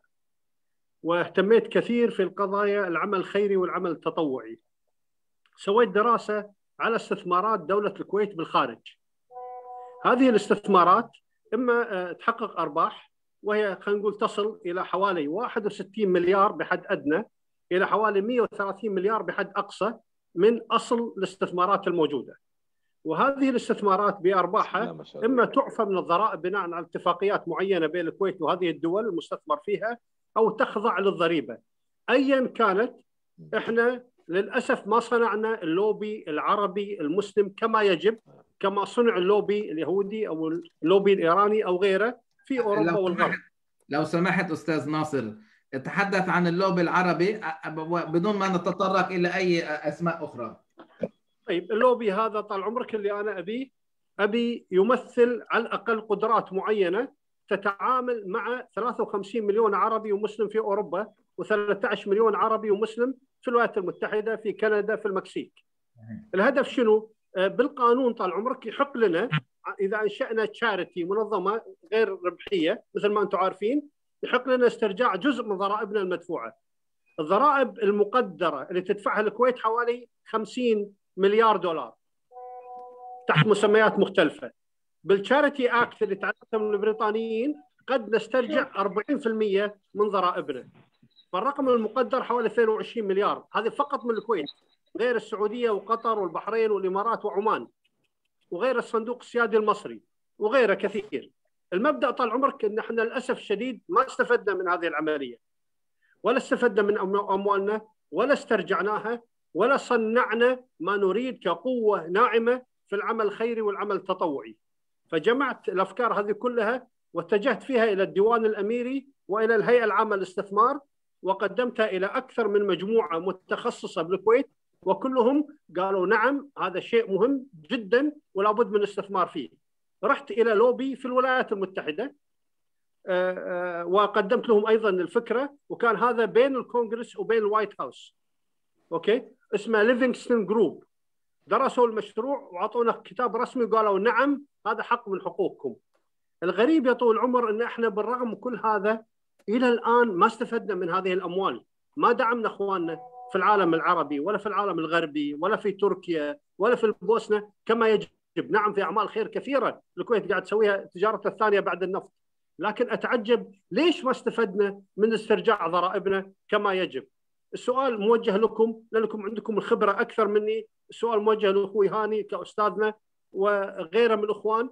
شنو الطريقة المثلى اللي تنصحونا فيها؟ كيف نسترجع هذه الأموال؟ وكيف ندعم مشروعاتكم على مستوى العالم العربي؟ وكيف نهيئ كوادرنا وقياداتنا في العمل الخيري والعمل التطوعي؟ جزاكم الله خير. جزاكم الله خير. آه جزاكم الله خير يا أخ ناصر. ربنا يبارك فيك إن شاء الله. ورمضان كريم عليكم كلكم. إن شاء الله. وطبعا أنا لست بأستاذ لكن أستاذي هو عبد الرحمن الصميت رحمة الله عليه وهو أستاذ جيل وأستاذ أمة.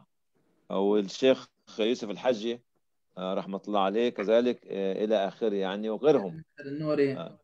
والشيخ نادر النوري وغيرهم كثير في الكويت بسم الله ما شاء الله. هنا مشكلة أخ ناصر إن إحنا لابد يكون في مؤسسات قوية ومعتبرة محلية في بريطانيا أو في أمريكا هي اللي تطالب بهذه الأموال. يعني نعم. وذلك إحنا لما كنا بنتكلم عن أحادية المركزية. صحيح الدولة الكويت دولة مستقرة الحمد لله ودولة غنية.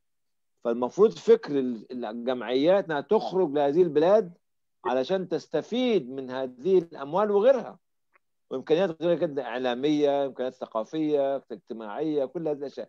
ال lobbying الإنساني اللي بيحصل في العالم ده كله ما بيحصلش من من القاهرة ما بيحصلش من من الدوحة. ما بيحصلش من من الرباط. بيحصل من لندن بيحصل من نيويورك بيحصل من باريس بيحصل من فرانكفورت.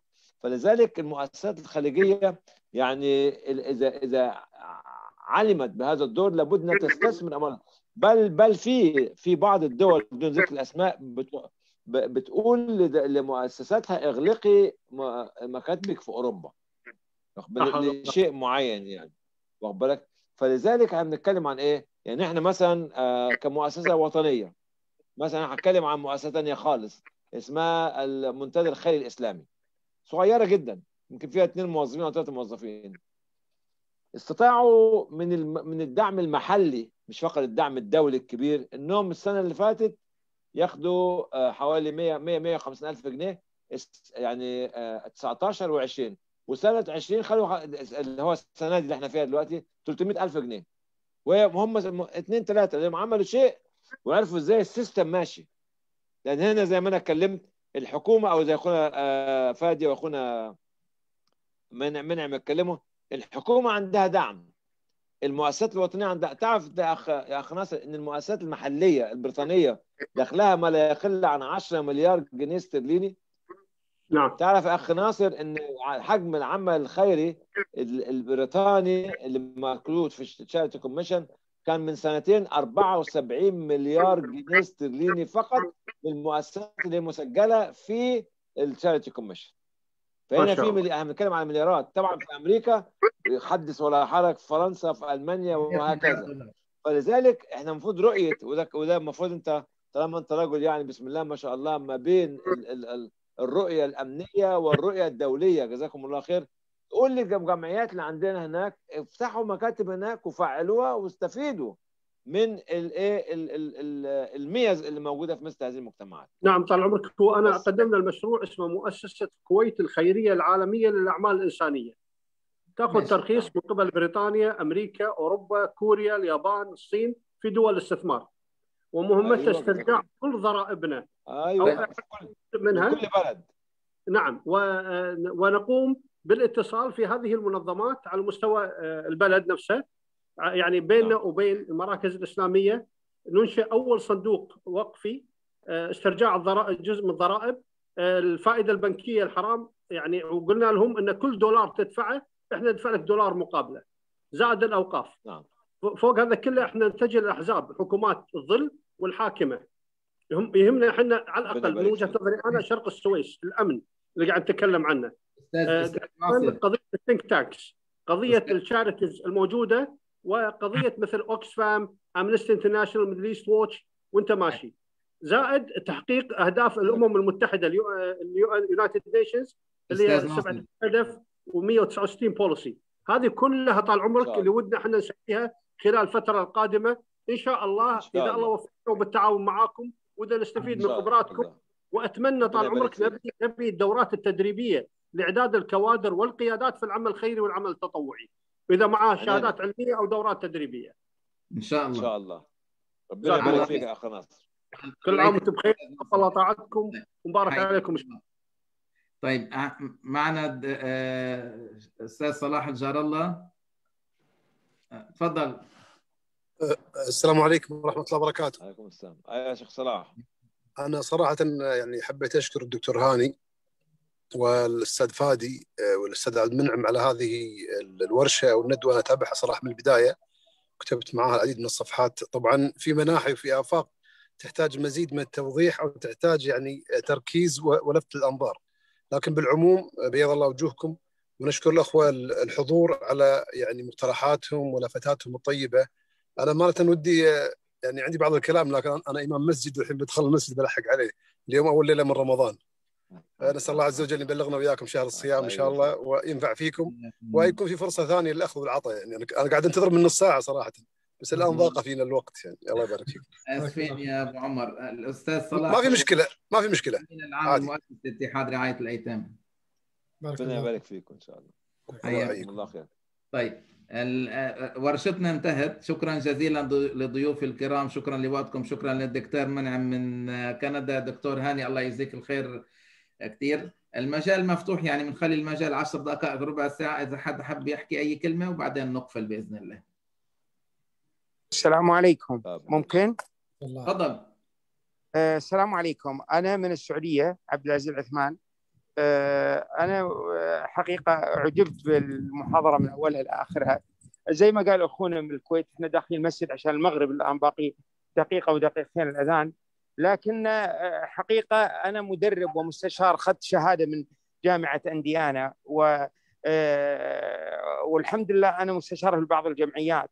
وكذلك يعني إحنا ندرب للجمعيات على مستوى المملكة، أنا أحد المدربين والمستشارين.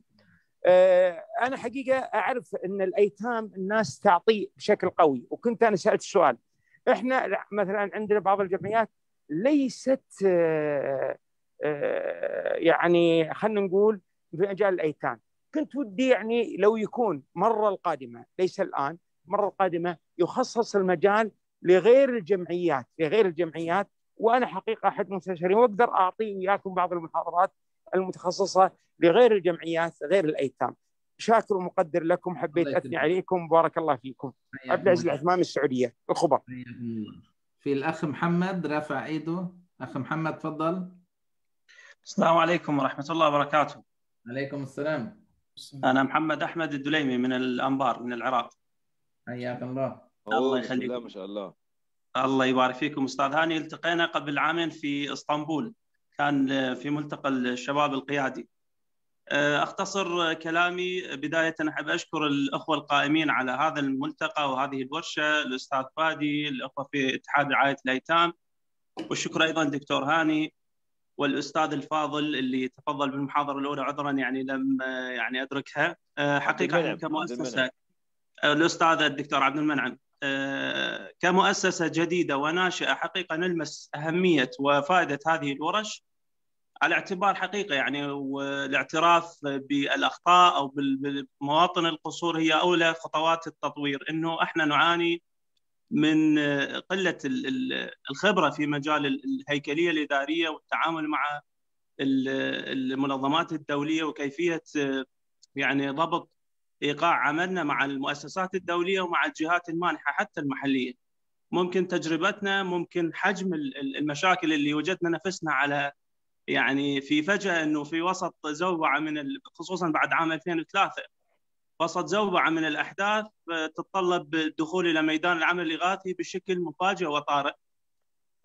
فبالتالي أكرر شكري لكم حقيقة إحنا جدا محتاجين لمثل هذه الورش مثل هذه الدورات اعضد على كلام الأساتذة أيضا اللي تفضلوا من المملكة العربية السعودية والأساتذة المحاضرين.